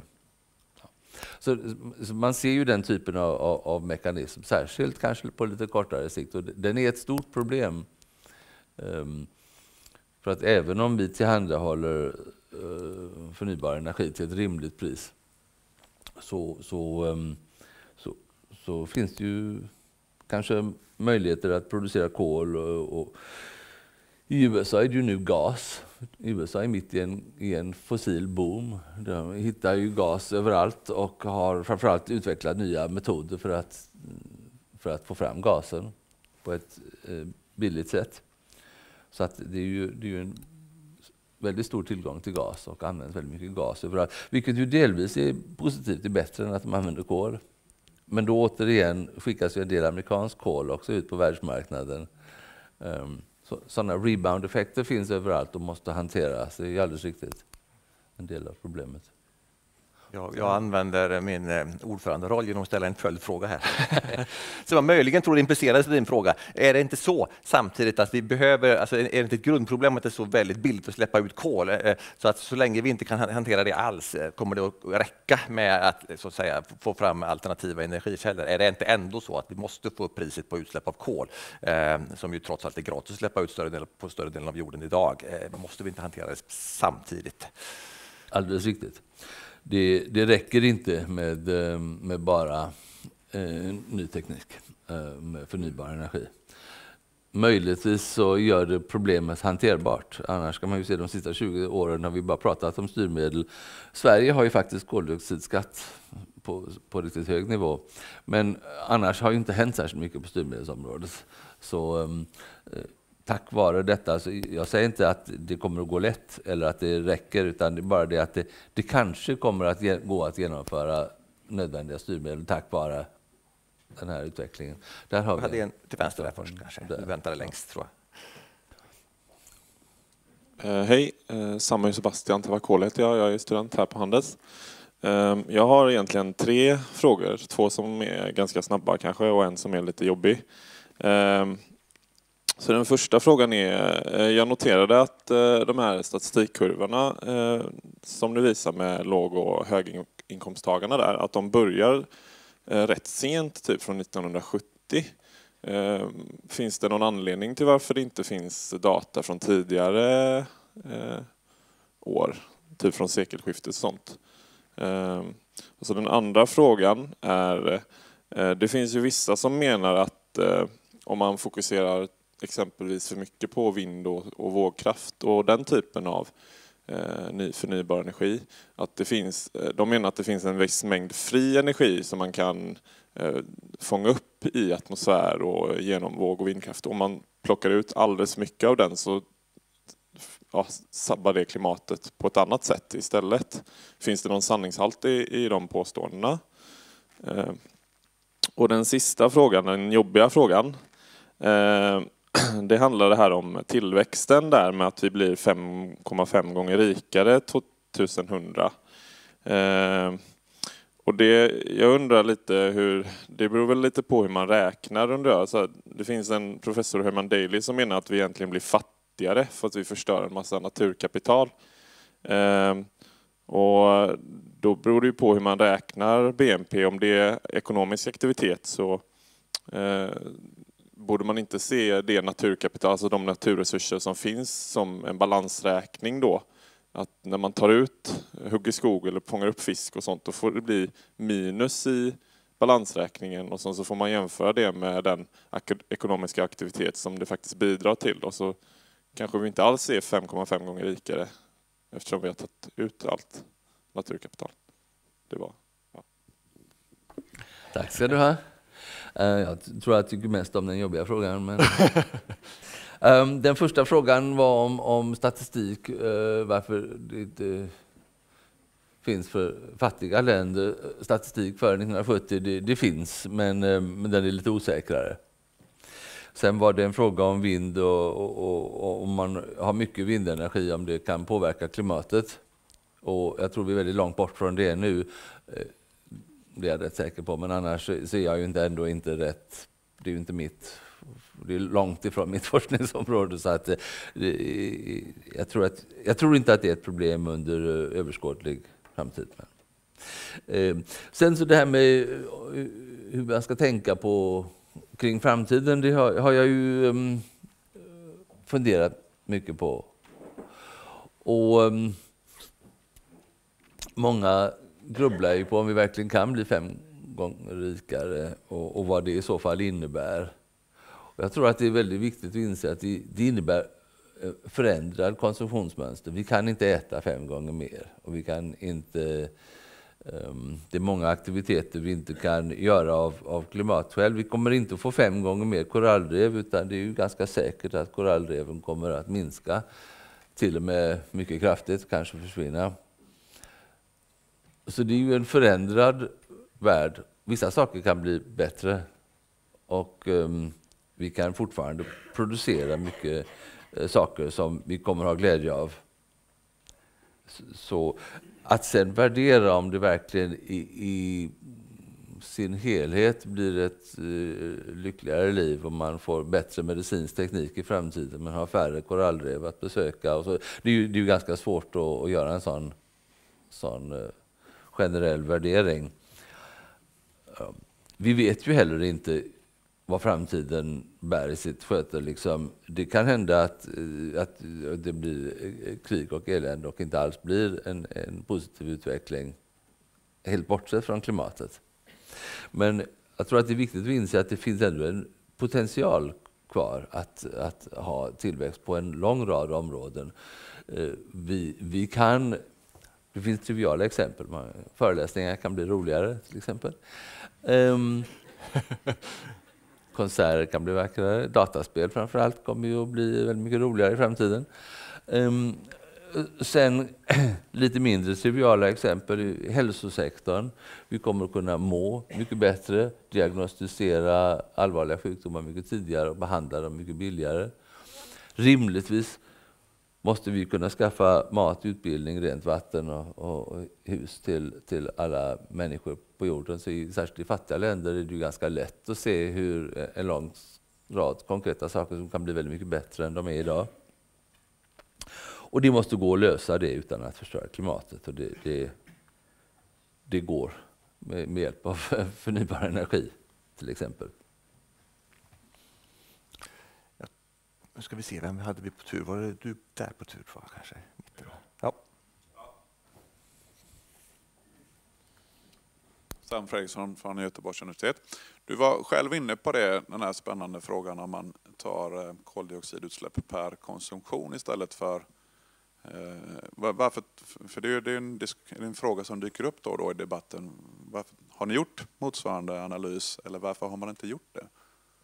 Det här, med, det här med eh, att vi flyttar ut vår produktion kanske till, till andra delar av världen. Ja, vi, vi har ju analyser av utsläpp i förhållande till BNP. Eh, sen så att göra fullständiga räkenskaper baserad på konsumtion är komplicerat. Det är ju inte som så att vi exakt lägger ner en fabrik i Tyskland och flyttar den till, Tysk till Kina. Utan det är ju ehm, hela tiden mycket mer subtila och komplicerade förändringar i näringslivet. Så det, det byggs ett antal fabriker i Kina och det modifieras ett antal i Europa. Och, och, och så. så att, det, att, säga exakt vilka eh, liksom, saker som är utlokaliserade, eh, det är svårt. Sen finns det en orsak till att inte vilja ha all statistik och allting baserat på konsumtion och det är ju det att det är, um, det är viktigt att fokusera på den nivån där beslut fattas.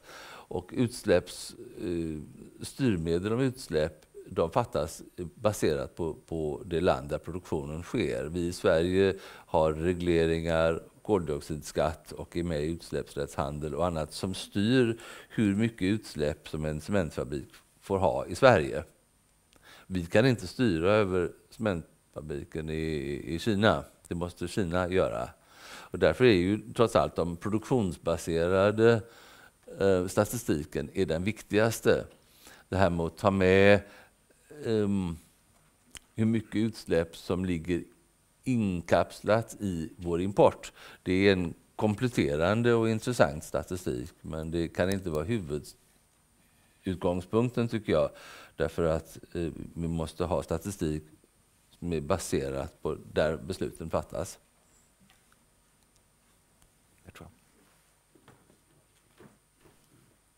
Ja, Hans Ek, arkitekt, lågenergihus, Passivhuscentrum. Eh, jag tycker att ditt föredrag det var väldigt intressant när det gäller tillförsel av energi. Men hur pass mycket hade energieffektiviseringen, hur diskuterades det i den gruppen? Jag menar, för man kan ju använda hälften så mycket energi om man har hälften så stora förluster. Ja, man kan ju till exempel bo i ett av dina hus som inte ens har uppvärmningssystem. Hans tog mig på besök um, för några år sedan till ett hus en kall novemberdag. Och, um, och där uh, fanns överhuvudtaget inget uppvärmningssystem i huset. Det fanns inga element. Och sånt. Men det var varmt och trevligt ändå och jag brände mig på varmvattnet som var solvärmt. Eh, jag tror att ehm, förutsättningarna, och, och de analyseras, vi har ju ett, ett särskilt kapitel om, om, om byggsektorn och, och, och så. Jag, jag, tror att det dels um, behövs generella styrmedel, så som vi då faktiskt har i Sverige med en koldioxidskatt, som är så hög att mina amerikanska vänner inte tror att det är sant. Det är också eh, speciellt. ja. Eh, sådana styrmedel eh, behövs, men det räcker ju uppenbarligen inte. Trots att vi har det så är ju inte alla svenska hus eh, byggda av Hans Ek. Tyvärr. Så det behövs fler Hans Ek också. Ehm, jag vet inte ehm, om det... Det, det är klart att det kanske hjälper med bidrag till exempel. Um, specifikt riktade bidrag. Vad tror du behövs för att folk ska välja i större utsträckning passivhus? Ja, det kan jag också hålla fem timmars föredrag om. Nej, men jag, det var inte det som var egentligen eh, min fråga utan det är hur diskussionen kring effektivisering av alla verksamheter i, eh, som en av de vägarna man, har, man kan gå i och minska koldioxidutsläppen. Vi talar väldigt mycket om tillförsel och att ta bort kolet och ersätta det med förnybara energikällor. Men det går, det går också att eh, eh minska mina jag, eh, förlusterna, energiförlusterna i alla verksamheter i världen med 50 procent. Jag håller med dig. Och um, där var den. Eh, diagrammet som visar vilken enorm betydelse energieffektivisering har. Det är de staplarna. De dominerar ju faktiskt i storlek eh, tillförselsidan. De är jätteviktiga. Ehm, jag tror att i, i vissa, i, i, industrin till exempel, tror jag faktiskt att, att ehm, eh, priset på på koldioxid är helt avgörande. Industrins utsläpp sköts ju av professionella personer som, um, som vinstmaximerar. Och är, är det dyrare med att släppa ut koldioxid så släpper de ut mindre koldioxid. Det är inte så, så komplicerat. Um, även i transportsektorn så vet vi att det, um, jag har sysslat väldigt mycket med transportsektorn, jag vet att är det dyrare bensin så um, big surprise, då, så använder folk mindre bensin. Just i bostadssektorn är det en hel del svårare. Man har ett problem som brukar beskrivas som split incentives. Det brukar ofta vara en organisation som bygger ett hus och en helt annan som driver det. Eh, och då är det som så att de som bygger det Eh, är ganska långt bort från det som ska bruka det och då är det ett högre pris på energi eh, på sikt för, för uppvärmning och så. Det kanske inte, det drabbar inte byggherren. Så där är, är möjligtvis en sektor där man behöver speciella styrmedel där det faktiskt inte räcker med ett pris på koldioxid. Så därför tog jag det som ett exempel kan jag passa på att flika in här. Vi kommer förmodligen att expandera utrymmena på Handelshögskolan på, på lite sikt här och eh, då är ju tanken med passivhus eh, eh, aktuell naturligtvis. Och det är precis som du säger, olika organisationer, Akademiska Hus som äger husen och vi som hyr av dem. Men vi har, vi har en god dialog med dem och god förhoppning om att vi ska kunna använda passivhusteknik i alla fall. Ja, eh, den lilla, ska vi se, du i mitten där var nästa tror jag. Glasögon där. Det blå, tror jag. Blågrå. Ja viftat länge.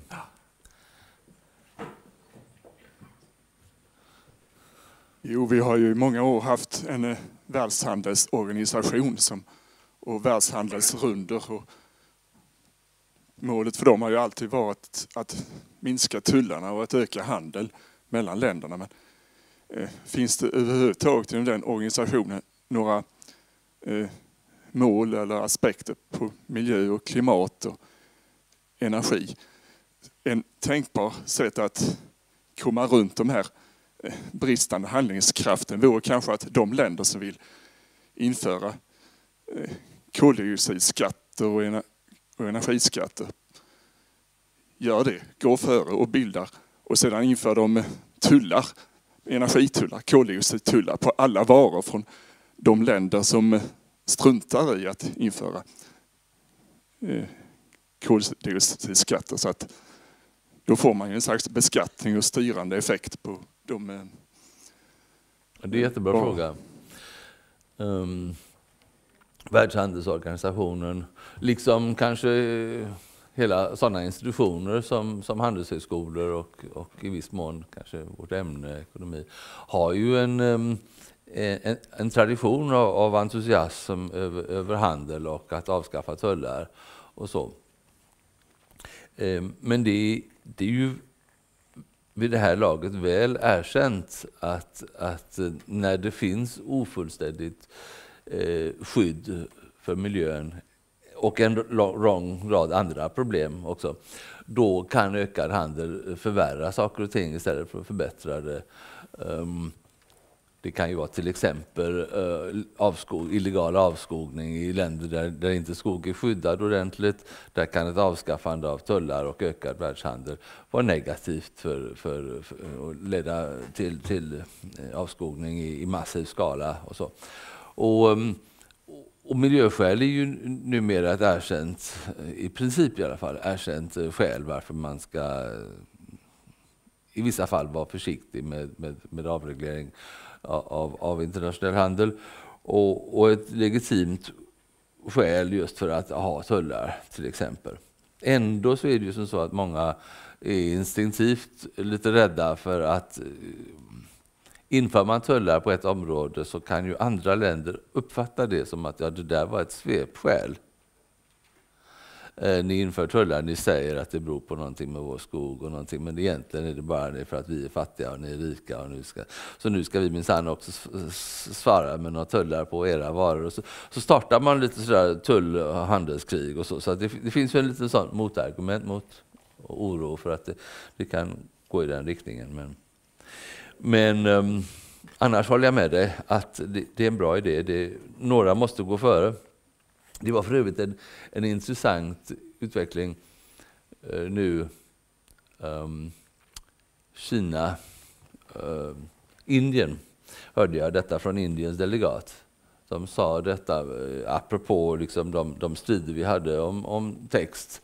Um, och om den här länderklassificeringen som var en av de stora striderna så sa de det att, att um, vi vänder oss mot den här, den här inriktningen att, att de eh, snabbväxande medelinkomstländerna ska vara med och dela på, på bördan och ska också göra så mycket eh, mot klimatet. Vad menar ni med också? Vad har USA vad har OECD egentligen gjort? Ni kunde börjat minska redan 1990 när det här problemet liksom identifierats. Hade ni gjort något rejält då så kunde man säga att nu skulle vi också göra det 2015, 25 år senare. Men ni har inte gjort ett dyft och nu vill ni också börja dela på bördan.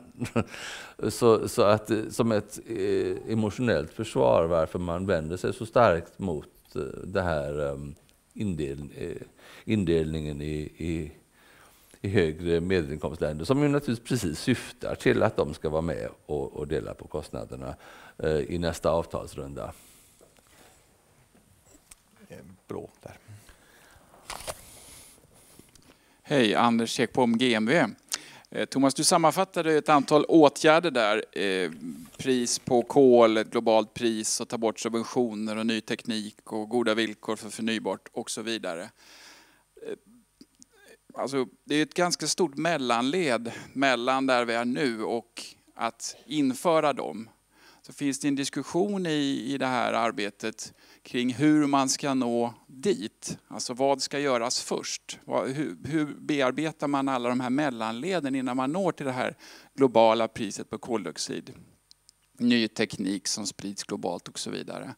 Jag tänker på eh, kopplat till den frågan, har man lärt sig någonting från andra områden? Det nämnes WTO här, men jag tänker också andra globala, ned, eh, globala förhandlingsprocesser av det här slaget. Där man kanske lärt sig vad behöver göras först. Vad är de här små stegen som behöver tas för att nå till de här stora åtgärderna som du, som du nämnde? Mm.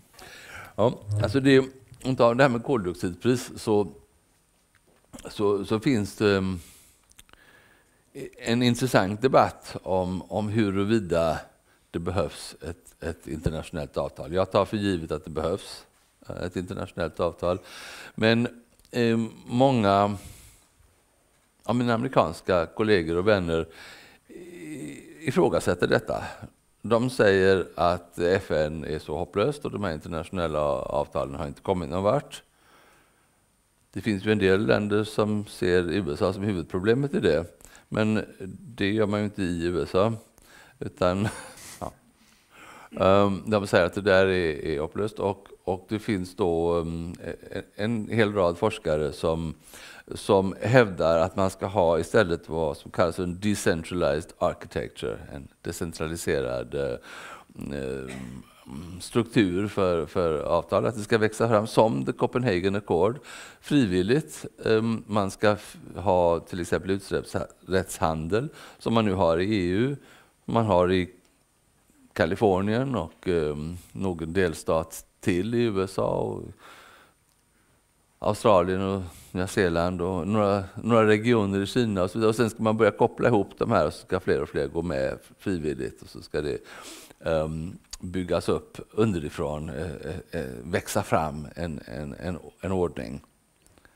Ja, jag har ju just skrivit en artikel om att jag inte tror att det kommer att fungera så, men, men, men det, det, är ändå en, en rimlig ståndpunkt och som, som en del har att, att, att, att det är ett bättre ehm, framgångsrecept.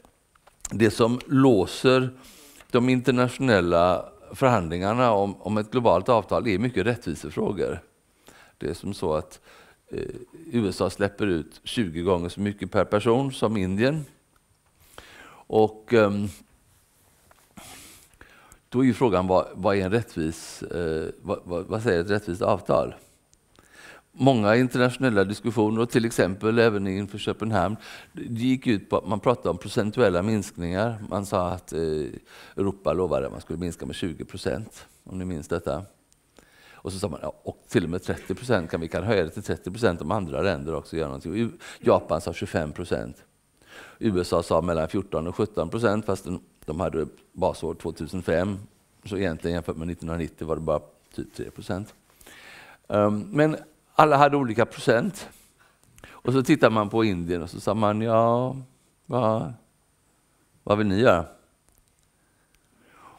Och då, om, om USA har, släpper ut 20 ton och går ner till hälften, till, bara tar det så långt har de i sig inte alls sträckt sig, men om de skulle göra det skulle det vara från 20 till 10 ton.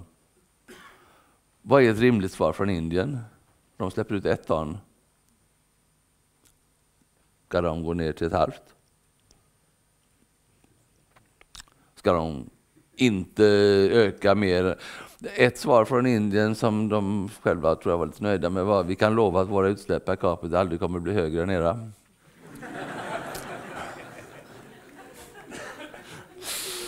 Ja. Um, om Indien skulle Grandfathering kallar vi den principen där man får i proportion till vad man har haft så att alla minskar lika mycket. Om, om, med den principen skulle Indien alltid få 4% för de har 4% av utsläppen idag.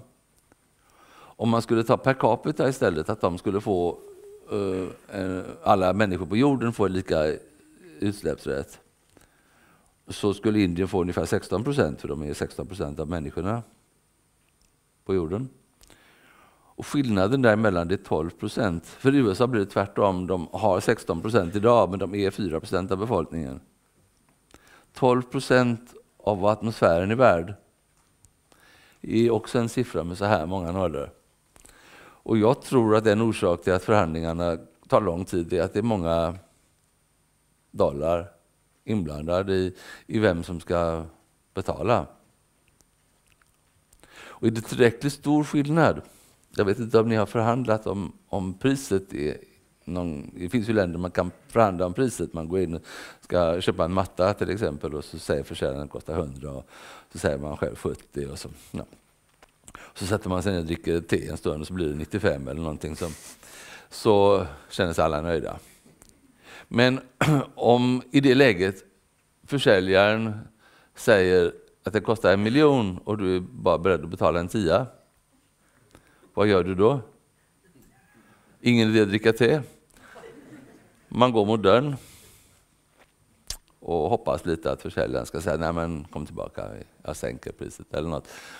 Ehm, det är vad förhandlarna, förhandlarna gör på världsscenen. USA säger att nej men vi tror inte på det där med internationella avtal ändå, det är, vi får ha en annan metod. Och Indien säger att men vi har nog med problem, vi håller på att försöka, vi har folk som dör redan idag, så det där med att folk kommer att dö i framtiden, det, ja. Ehm, så att man, alla parter liksom säger att det där är inte så angeläget. Och det är ett bra man ska inte visa sig för intresserad om man har en svår förhandling. Så det, det, det tror jag är det beteendet vi, vi ser på förhandlingsområdet. Det kapitel som kom efter mitt kapitel, kapitel 16, handlar om internationella förhandlingar och skrevs av väldigt duktiga, men huvudsakligen amerikanska kollegor. Och det blev inte mycket kvar av deras sidor just i, i den här eh, Summary for Policy Makers. Så de hade alltså skrivit en massa om hur förhandlingar bör göra. De hade skrivit att, att, att eh, UNFCC, alltså FN-processen, då, var bara en av många arenor där man skulle eh, förhandla om klimat. Det ströks. Ja, och många andra saker ströks där. För att det, det, det, är alltså, det är ett av de områden som, där, där opinionerna går som mest isär. Och nu direkt när den här rapporten är färdig så, så, så kommer den användas och de här FN-förhandlingarna börjar. Och det var sådana förhandlare som var där i Berlin. Och de vet hur den här rapporten kommer att användas i, i förhandlingarna. Och så. så att ett, antal, ett antal stycken om, om hur internationella förhandlingar bör skötas. Det var vetenskap som, som var alltför politisk och som, som, som inte överlevde den här granskningen, eh, regeringarnas granskning. Japp, eh, vit kofta upp där.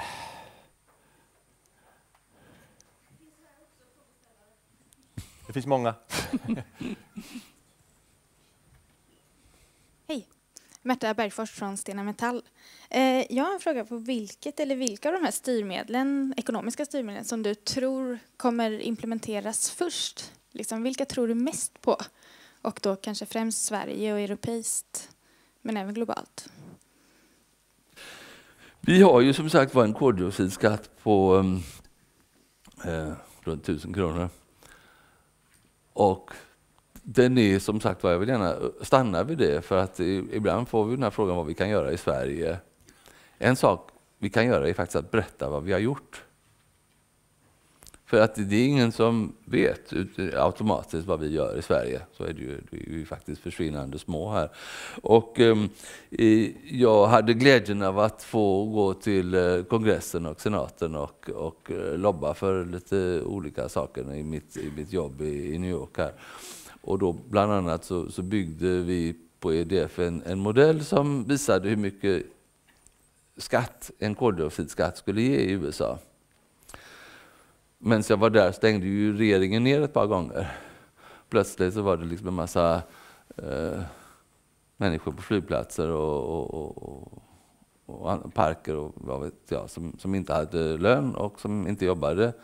Och, um, så att det fanns ett intresse för koldioxidskatten bara som att täppa till ett hål i, i budgeten. Och det, det, visade vi att det skulle ju en, en, skatt på 10 dollar per ton koldioxid faktiskt göra ett väldigt stort bidrag till att lösa hela det problemet som, som ständigt återkommer i, i amerikansk eh, politik, att, att, regeringen måste stänga för att det, det är slut på pengarna. Man kan tycka att det är lite pinsamt för en världsmakt. Eh, och det är många som tycker i, i USA, så det fanns ett visst intresse för detta vi fick presentera den här modellen och så, oj så mycket pengar och sådär. Det var ju bra. Och så gör det lite nytta för miljön också, men det är också bra. Och så, men, men det går väl inte att genomföra, detta är väl helt orealistiskt. Och då var det lite roligt att kunna säga att ja, men vi har en skatt som är 15 gånger högre, 150 dollar per ton i Sverige. Och då var det liksom de såg framför sig det här landet där alla går omkring och tänker koldioxidskatten är så hög idag, ska jag orka gå upp på mannen?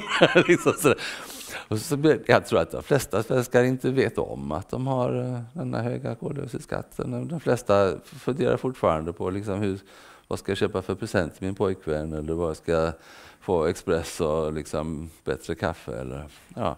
livet går vidare, det finns många andra saker att tänka på än koldioxidskatten. Jag tänker att, vi eldar ju inte mycket olja, men man anpassar sig. Och sen går livet vidare. Så är det. Ja, jag hörde för ett tag sedan Harry Martinsson, han eh, pratade om eh, utvecklingen för människan i framtiden och han var ganska negativ. Men han trodde att en sak som kunde klara det, det var den tekniska utvecklingen. Och det är ju en sak eh, här som vi har hört mycket om, hur, hur mycket koldioxid det släpps ut och hur lätt det är. men däremot ingenting om sättet att suga in koldioxiden. Vattenfall hade ett projekt i Tyskland som gick ut på att eh, ta tillvara eh, koldioxiden i ett kraftverk. Men man har lagt ner det där därför att man har inte stöttats av de lokala myndigheterna eller utav andra industrier. Jag undrar om inte det är en sak som den här kommittén borde arbeta med och försöka att utveckla. Tack. Ja. Den är, det har vi gjort och jag håller med dig till fullo. Jag tror också mycket på teknisk utveckling faktiskt. Um, och nu pratade jag ju en del om solceller som är en teknisk utveckling, men eh, CCS, eh, Carbon Capture and Storage, är, är, helt klart ett annat alternativ som, som vi har med och som, som eh, en del uppfattar som kontroversiellt. Men det, det bygger just på att man fångar in koldioxiden till exempel från ett kraftverk. Det, det finns andra förslag också. Det finns men, men det är kanske det som har kommit längst. Man fångar in koldioxid från förbränning och så lagrar man det. Och så kan man undra, ja, men kommer det att fungera? Kommer det inte det att sippra ut igen? och så där? Och det, det, är ju, ja, det är ju en empirisk fråga, vi får se hur det går. Men man kan ju peka på det att det finns fossil gas som har funnits i miljontals år och som inte har sipprat ut. Så vi vet att det är i princip möjligt att lagra gas. Um, så i analogi med det så, så tänker man sig att man kan fånga in koldioxid eh, och, och komprimera det och lagra det. Det kostar en del. En del av den energi man producerar får man använda för att komprimera koldioxiden och pumpa ner den under jorden. Eh, så att det är inte gratis. Men panelen tror att detta är en framkomlig överbryggningsteknik. Det är alltså väldigt svårt att, att, att få lösa detta. Ehm, att hinna bygga tillräckligt mycket förnybar energi, att hinna genomföra tillräckligt mycket effektiviseringsåtgärder i tid är väldigt svårt. Och då är detta en lovande teknik. Man kan dessutom ha inte bara CCS utan man kan ha något som kallas för BECCS där man har bioeldade kolkraftverk som, där man tar tillvara koldioxiden och pumpar ner den, då har man ju skapat en maskin som samtidigt ger el och minskar koldioxidhalten i atmosfären. För att eh, eh, träden har ju sugit upp koldioxid när de växer och sen så tar man bort den koldioxiden ur, ur atmosfären. Så att det är en sån tänkbar... Sen finns det ju ytterligare, man kan säga radikala eller knasigare um, förslag uh, som kallas för geoengineering, där man försöker att på konstlad väg styra klimatet. Som i de flesta av oss, gissar jag här, instinktivt är lite negativa till, men som man faktiskt hör ganska mycket om i, i, USA eh, som ett um, positivt alternativ. Ja, ja, Vattenfall gjorde lite andra bedömningar av vad som var viktigt och vad som var lönsamt. Som ja, det är sant. Alltså, ja. jag svarade inte på den biten. Det finns ett, i, I Norge, så, så, i Sleipnerfältet, så gör man detta frivilligt därför att det finns en koldioxidskatt på utsläppen. Eh, har man ett, ett sådant styrmedel eller ett riktat stöd så, så kan man ju, företag, annars gör ju inte företag sådant frivilligt. Mm. På min lista är du på tur där, blå skjorta.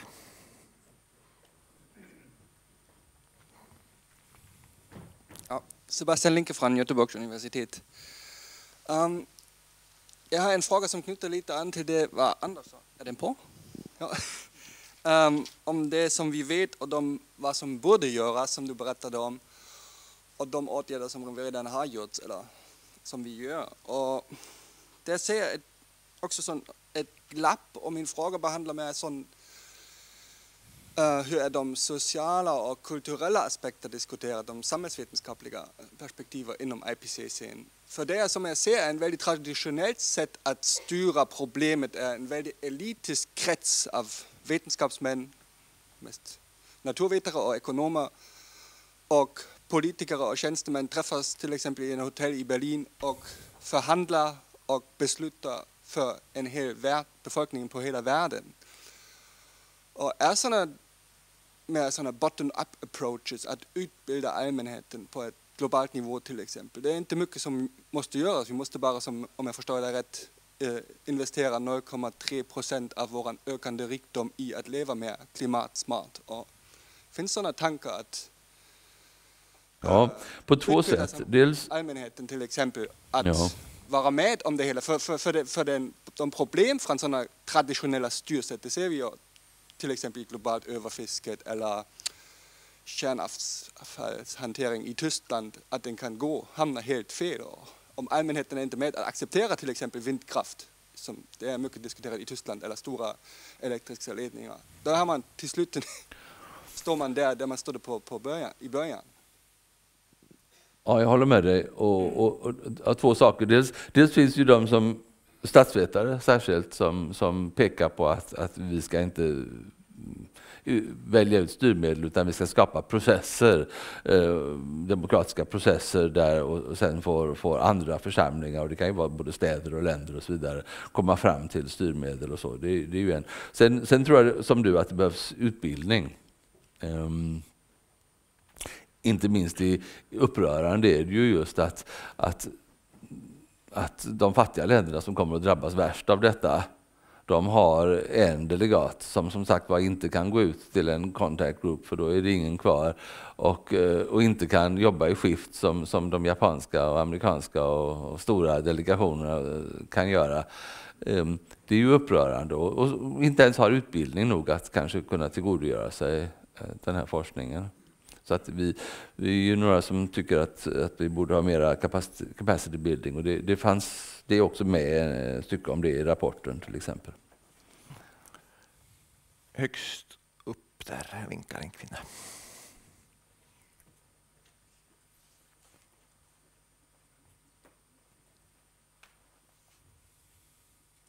Hej, Karin Plejer från Miljöpartiet, de gröna.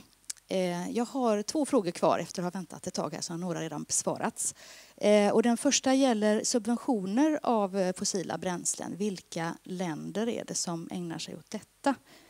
Och sen den andra frågan gäller den här punkten 6 på listan. CCS-tekniken var ju redan uppe här, men jag vet att kärnkraft också har varit ett ämne för den här gruppen. Och med anledning av att vår värld inte är så fredlig som vi kanske önskar så ser jag en stor risk om man satsar på det istället. Och jag tänkte höra hur diskussionerna gick i eh, gruppen där.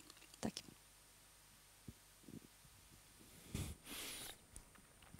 Ehm,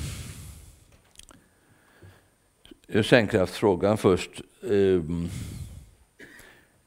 vi beskriver ju den utveckling som har varit de sista tio åren och även innan Fukushima står ju kärnkraften för en minskande andel av, av eh, försörjningen. Men det är ju, det är ju klart att om, om inte kärnkraften, det finns någon formulering ungefär, att om, om inte kärnkraften hade egna problem skulle den ju utgöra ett, det är ju ett fossil ett, ett alternativ försörjning med relativt lite fossila utsläpp. I den synvinkeln skulle den ju gynnas av, av ökad um, uppmärksamhet kring, kring um, koldioxidutsläpp. Um, sen visade det sig ju att, att kärnkraften har en, en rad problem av både säkerhetsnatur och, och också ekonomiska. Det är helt enkelt i, idag förmodligen attraktivare för många eh, kraftverk att, eh, kraftbolag att satsa på förnybar energi. Så att det spelar en relativt liten roll i, i, i, i de flesta scenarier.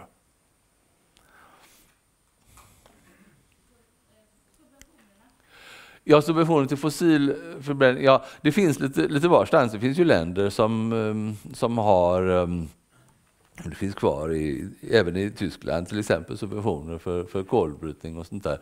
Ehm, sen är det ju så att många av subventionerna i, i, i länder som Saudiarabien och är beräknade som, som en skillnad i deras eh, inhemska försäljningspris och världsmarknadspriset.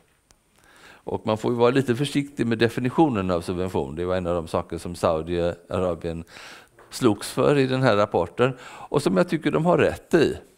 Det är skillnad på, en subvention, på subventioner beroende på hur de... Det är skillnad om man tar statsmedel och direkt subventionerar någonting eller om man undviker att beskatta någonting. Det är inte riktigt samma sak. Och um, ibland så är det ju så att en del rapporter som skriver att om man bara avskaffade subventionerna skulle en stor del av problemet vara löst. De kan ibland vara lite överdrivna för en, en hel del av subventionerna är, är subventioner i länder som just har ett intresse av att subventionera detta som, som själva producerar. Så det är inte så lätt att, eh, att göra det. Men, men sen finns det kvar subventioner i, i en lång rad länder där det skulle med fördel lätt kunna avvecklas. Cecilia, har en fråga. Här nere.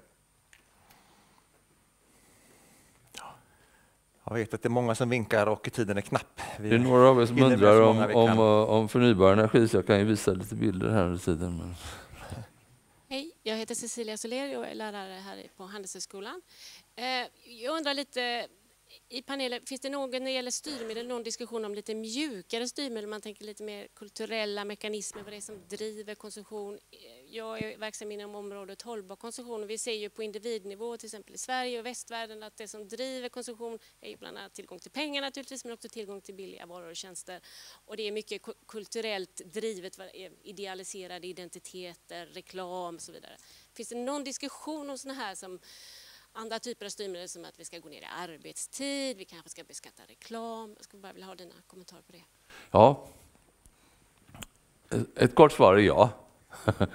Och eh, även sådana drivkrafter som Olof har, har, forskat om, till exempel positionalitet, att vi vill, eh, eh, vi vill alla ha lika fin bil som grannen och lika, ja, att, vi liksom, att vår konsumtion drivs av, av, av, av sådana saker som, som eh, att vi jämför oss med, med andra. Det är en drivkraft till att vilja konsumera mer som är lite annorlunda och som eh, jag tror också att de, de kulturella aspekterna du nämner är viktiga. När det gäller rökning till exempel så har um, rökningen minskat mycket, särskilt i västvärlden de sista 20 åren.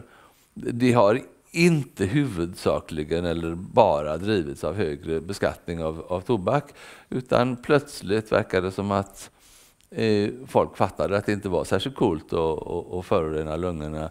Um, och, och, och, och det kom non-smoking generation och så vidare. Um, sen tror jag ju att många av de här stora sakerna som transportsektorn och industrins förbrukning av kol och olja, det drivs väldigt mycket av priser. Men, eh, men eh, vår mobilitet och vår livsstil och vad vi förbrukar och så är ju också väldigt viktiga för, för industrin. Så att jag, jag, jag är den första att hålla med dig om att det är viktigt. Mm. Jag tror vi har en sista fråga. Vitt där har vinkat länge. Eh, ska vi se. Miljöförbundet Jordens vänner. Eh, det som man skulle kunna göra det är att eh, minska användningen av resurser. Till exempel skulle vi kunna äta lika mycket som förut om vi bara lärde oss att låta bli att kasta en tredjedel av maten i Sverige. Eh, vi skulle kunna minska transporterna och behovet av transporter genom eh, bättre stadsplanering där man såg till att kulturella, eh, kulturell service, eh, eh, jobb, bostäder, eh, sjukvård, skolor, allting fanns samlat på ett ganska Eh, litet område så man har gång och cykelavstånd istället för att man behöver åka bil genom en hel stad för att komma till jobbet varje dag. Eh, man skulle överhuvudtaget kunna gå ner i, i konsumtion av eh, kött som påverkar klimatet och äta mer vegetariskt för att minska klimatpåverkan man behöver inte så mycket materiella resurser. Man skulle kunna ha tillväxt i sociala frågor istället och, och leva ett rikare liv på det viset. Åtminstone vi i de rika länderna kan gå ner materiellt. Hur mycket har ni diskuterat sådana här frågor i eh, den här klimatpanelen? Lite grann. Ehm, Även om det inte har varit en framträdande del av, av diskussionerna. Jag, jag tror också att livsstilsfrågor är viktiga, men jag tror också att de påverkas de också av, av priser. Och, ett högt bensinpris är jättebra om man vill ha en koncentrerad stad. Eh, arbetsplatser är inget man beordrar att flytta liksom hur som helst. Men, men det är klart att en kombination av stadsplanering, bra kollektivtransport, eh, Eh, planering av, av till exempel infrastruktur för uppvärmning som vi har i Sverige med, med fjärrvärme och kanske fjärrkyla i en del sammanhang, och, um, transporter, energiförsörjning en koncentrerad stad och ett högt bensinpris. Allt detta går ju tillsammans med ett, ett, ett energieffektivare kultur och stödjer ju i själva verket de som då vill, vill cykla och vill bo nära jobbet och, så vidare. Så att, eh, jag tror de sakerna går hand i hand. Jag tror vi närmar oss slutet här. Jag vill gärna sluta med ett, att återkomma till, det, till detta diagram här. Här ser ni utvecklingen av totala priser för, eh, för energi. Och eh, vi har fossila källor här längst ner. Och de där gula är då um, uh, vind, um, framförallt sol menar jag. Um, ni ser vilken extremt snabb minskning det är där. Fortsätter det ett par år till så är de nere i paritet med de fossila energikällorna. Då är inte problemet löst. För att eh, de fossila energikällorna kan fortfarande sjunka en del i pris. Där finns ju vinster och annat. Och där finns de här rebound-effekterna som vi har talat om. Använder vi mindre av dem så kommer de bli billigare, de kommer sänka priset. Eh, och så.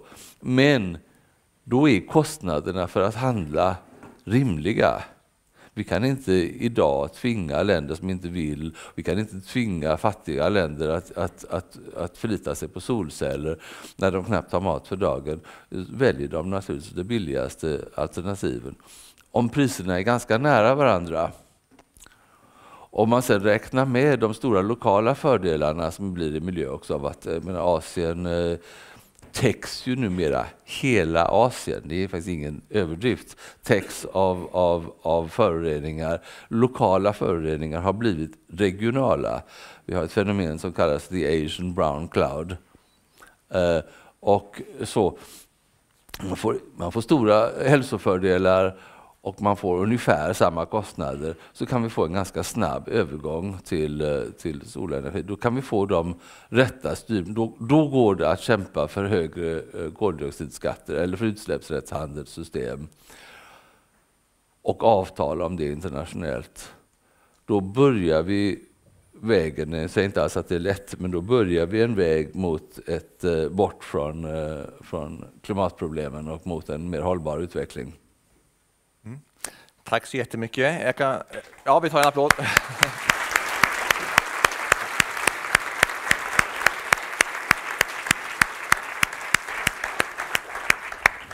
Ja, jag kan bara kort säga att jag tror att eh, redan idag så har vi, våra duktiga studenter räknat fram att vi med ganska god lönsamhet kan placera solpaneler på våra tak här och eh, solceller och, och få ekonomi i det faktiskt. Mm. Så det, vi ser fram emot det. Mm. Tack alla så jättemycket för att ni kom och bra frågor. Jag ber om ursäkt för att alla inte får ställa sina frågor. Sånt är livet. Det är stort intresse, men tack igen alla för att ni har varit med.